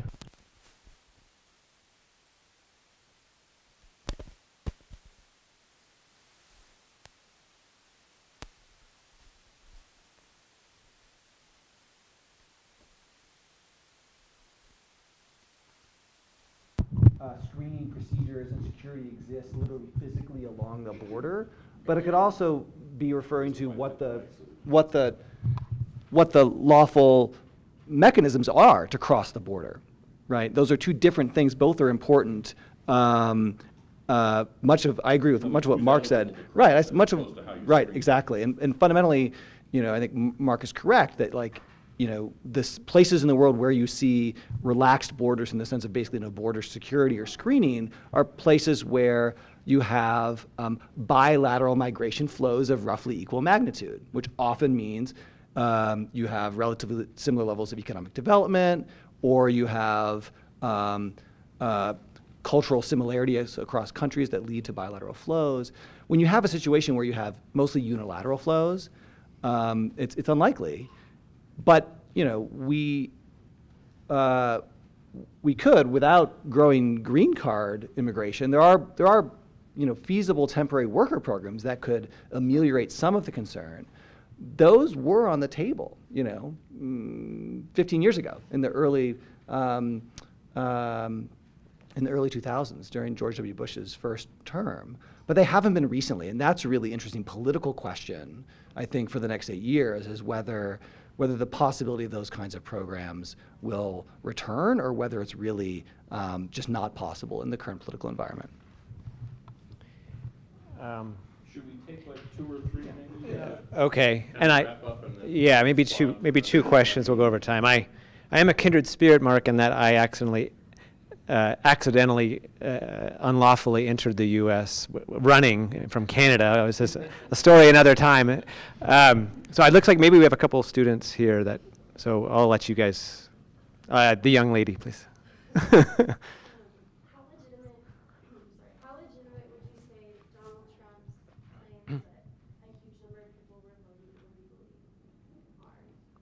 So, uh, the question is, is Donald Cl Trump's claim that many people were voting illegally well founded or a basis in fact? He said millions, and it's not millions. Um, it just isn't. But you know, it's not nothing either. Um, and you know, I, how about we find out? You know what I mean? I mean, it's this is it was Trumpian exaggeration. But and the interesting point is, of people who vote illegally, I think they're much less likely to be illegal aliens voting what seems to be what seems to happen you especially get this with Mexican and other Latin American immigrants they're legal immigrants voting because they came illegally almost all Mexican uh, immigrants in the United States originally uh, came as illegal aliens but then they got legal if they can vote I mean or if they have legal status they got green cards and you know, they're sort of regular folks. They're not political science professors. They figure, okay, well, now I'm legal. I got to thing from the government says I'm okay, so I guess it means I can vote. And then at motor voter, they're giving them a voter registration thing. So anyway, it's to the extent there's illegal voting, as opposed to, I mean, uh, apart from like felons who haven't had their, their rights restored, it's probably more legal immigrants who actually think they're allowed to vote and just don't get the difference. That's my sense. But is there, are there millions? No. They're definitely not millions, but here I actually see a problem that goes beyond what Mark just indicated, although I don't disagree with that. It is that uh, the American Constitution assigns the administration of American elections to state and local officials who are often partisan officials. As a result, we have more low level corruption in American elections than in most modern advanced democracies. It does not take the form of a person showing up pretending to be someone else and voting, but it does take the form, the most common form actually is um, uh, uh, fake absentee ballots being sent in. You hear less about it, even though it occurs more often, because both parties do it, and so they don't prosecute it. And uh, it does. In- it does include sometimes uh, uh, voting of, uh, on ballots that are uh, sent in uh, that include people uh, who shouldn't be on the voting rolls at all. So.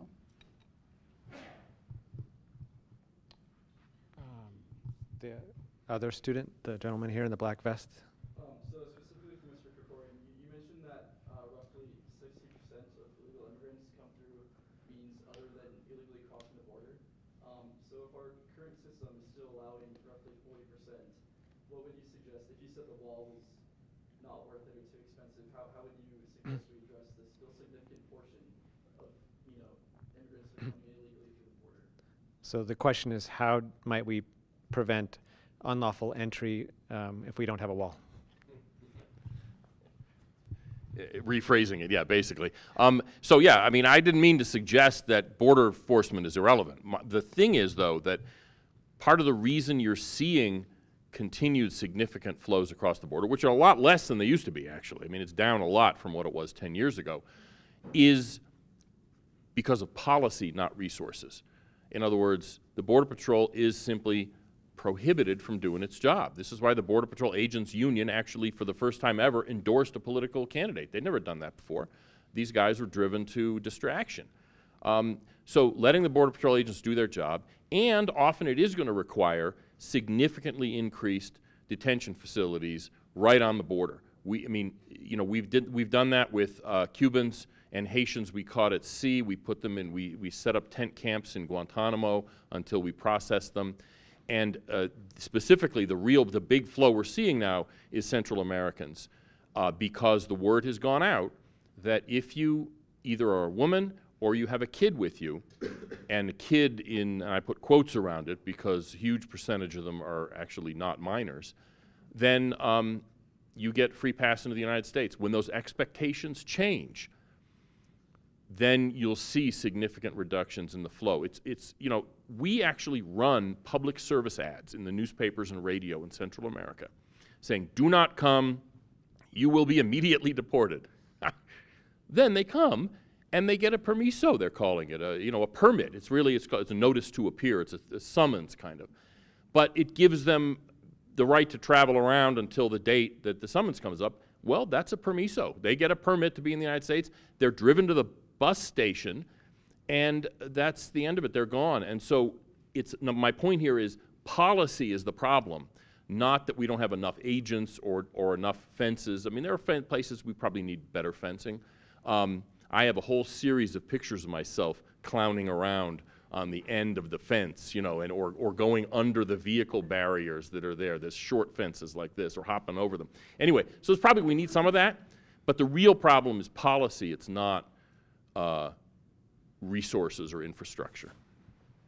And can I just just to reinforce something Mark said, which I think is really um, is really really important about the past versus at least the near term future, is the picture that many people have about um, unauthorized migration is a picture that uh, really is now you know several years old and becoming outdated. Uh, it's true that a significant number of the people, like a big fraction of the people who live in the country without permission, of that 11 million, they, they came here by um, crossing the border unlawfully. So that's right. But actually, a, a, huge fraction of that group, they've been living in the country for more than a decade. So these are people who crossed a long time ago. Today, the border looks really different. Um, because today, the, the most significant phenomenon is not people trying to cross the border and evade detection it's people, as Mark said, it's people who actually are, are approaching the border and turning themselves in. Like that, those are the most significant numbers of people. And so a, a, wall does absolutely nothing with respect to those persons. Like they'll just approach the wall and turn themselves in at the whatever the border crossing checkpoint is. Um, and so addressing that flow requires a different set of policies because the wall can't. And Mark and I would disagree a lot about what those policies are, um, but, but we would agree that, that it's going to have to be something else if the people are approaching and turning themselves in. And if I could just add one more, one more quick point about why Mexican immigration uh, across the border has dropped so significantly. It actually seems to be back up a little bit in the past couple of years, but it's still way down than it was before. And this is a point that um, uh, that other people that uh, people have made a lot by saying, well, because we've enforced the border, we've hardened the border, that has resulted in people staying here. It's a ratchet effect. Once you get across, you don't want to go back home because you may not be able to get back into the United States. And that does not seem to be the reason for the drop in Mexican migration across the border. The drop is the, the reason for that is there's nobody left in no working age men left in rural Mexico to migrate. What we saw over the past 30 years was a movement of rural Mexicans to the city. A lot of them moved to Mexico City, to Guadalajara, to Monterrey, and a lot of them moved to our cities. But that's a one-time thing. That happens a single time in the history of any, the development of any nation. And um, the, the massive flow of people across the border from Mexico who are Mexicans probably is now, it's not over, but it's a much, it's going to be at a much lower, it's sort of at a low roar instead of what it was 10 years ago. The problem, of course, is that there's 5 billion people in the world who are poorer than the average Mexican. And we're now seeing this, this past year was the first time that non-Mexicans made up the majority of the people apprehended by the Border Patrol. Most of them Central Americans, but you know, a little bit from everywhere else. And so the problem at the border isn't going to go away simply because Mexican migration really probably has kind of, you know, gone over a hump and is going to be at a lower level. It's still going to be significant, but a lower level than it was, say, a decade ago. I'm going to say this is the this is the last question. There is a short reception afterward in which the panelists will be available, so you can speak to them, uh, speak to them nicely uh, uh, in the back of the room. But I'll take the last question from this gentleman here. I just want to touch one thing that you guys didn't touch upon, and that is uh, if Donald Trump and his administration, uh, if they take a radical approach to mass deportation, what what kind of effects or, or problems might arise, uh, um, civil, economic, and other types of problems that you Okay.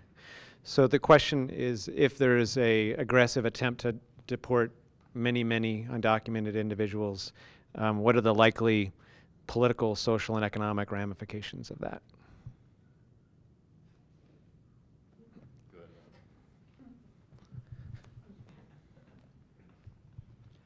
I would just say I'm very worried about it.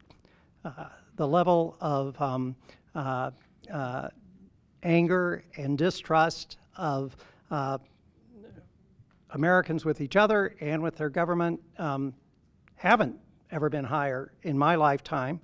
The sense of the illegitimacy of, uh, on the one hand, some Americans believe that um, there are populations that shouldn't be here and should be uh, deported. There are others who don't regard the new administration as legitimate.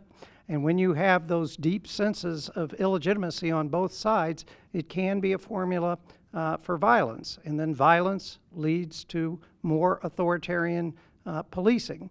And uh, although my view of Donald Trump is that he's more a salesman who wants to be popular than he is a real uh, hardcore authoritarian, I think that if we have um, mounting incidents of violence that are bringing the administration into disrepute, uh, he is likely to respond with escalating uh, violence. Uh, I think this is a dangerous period in American history. Um, I actually don't completely disagree with Rogers. Uh, my, but the first point is, it's not going to make that much difference initially because we're talking about going back to levels of deportation that existed at the end of the Bush and beginning of the Obama administration, and there was no revolution then. And, you know, an increase to some level beyond that. I mean, I could see, you know, five or 600,000 deportations a year easily. Um, uh, but Rogers's point is valuable, I think, but what it, what it gets to is that the, the activist groups have actually kind of gotten used to the idea that um, there isn't going to be significant levels of deportation. And going back to something that existed before, because that's really what we're talking about with Trump, is a return to sta more standard practice under previous administrations is going to lead, not initially to violence, but it's going to lead to, you know, some of these, uh, the kind of thing, the kind of stuff potentially we saw in, you know, Portland after the election. But it's going to start with, you know, human chains around ICE offices. Um, I, I'm quite confident that the kind of things that you're going to see is they're going to put the home addresses of ICE agents on the internet, where their kids go to school. And as dangerous as that kind of thing is, it's not going to serve the interest of people who are trying to stop deportation. Um, you know, this is, we are in a potentially dangerous period, but the reaction to returning to a more standard approach to immigration enforcement, if that reaction is, uh, does in fact end up in violence, you're going to end up with something with deportation approach that's much more um, stringent than what would have happened if the administration were just continuing what it intended to do. So my point here is that, uh, you know, it's, it's provocateurs have the potential, I think, to create real problems. Um, and I'm confident that they're going to do that. Yeah, exactly. well, I, I will say, um, I, uh, I do hope, obviously, this is um, a very timely topic and one that'll be very much in the news in the coming years. And I, I do hope that our political leaders on, on both sides uh, are consulting all of you uh, who are really some of the leading minds um, in the question of immigration as they wrestle with these very difficult problems. So um, please join me in thanking our panelists for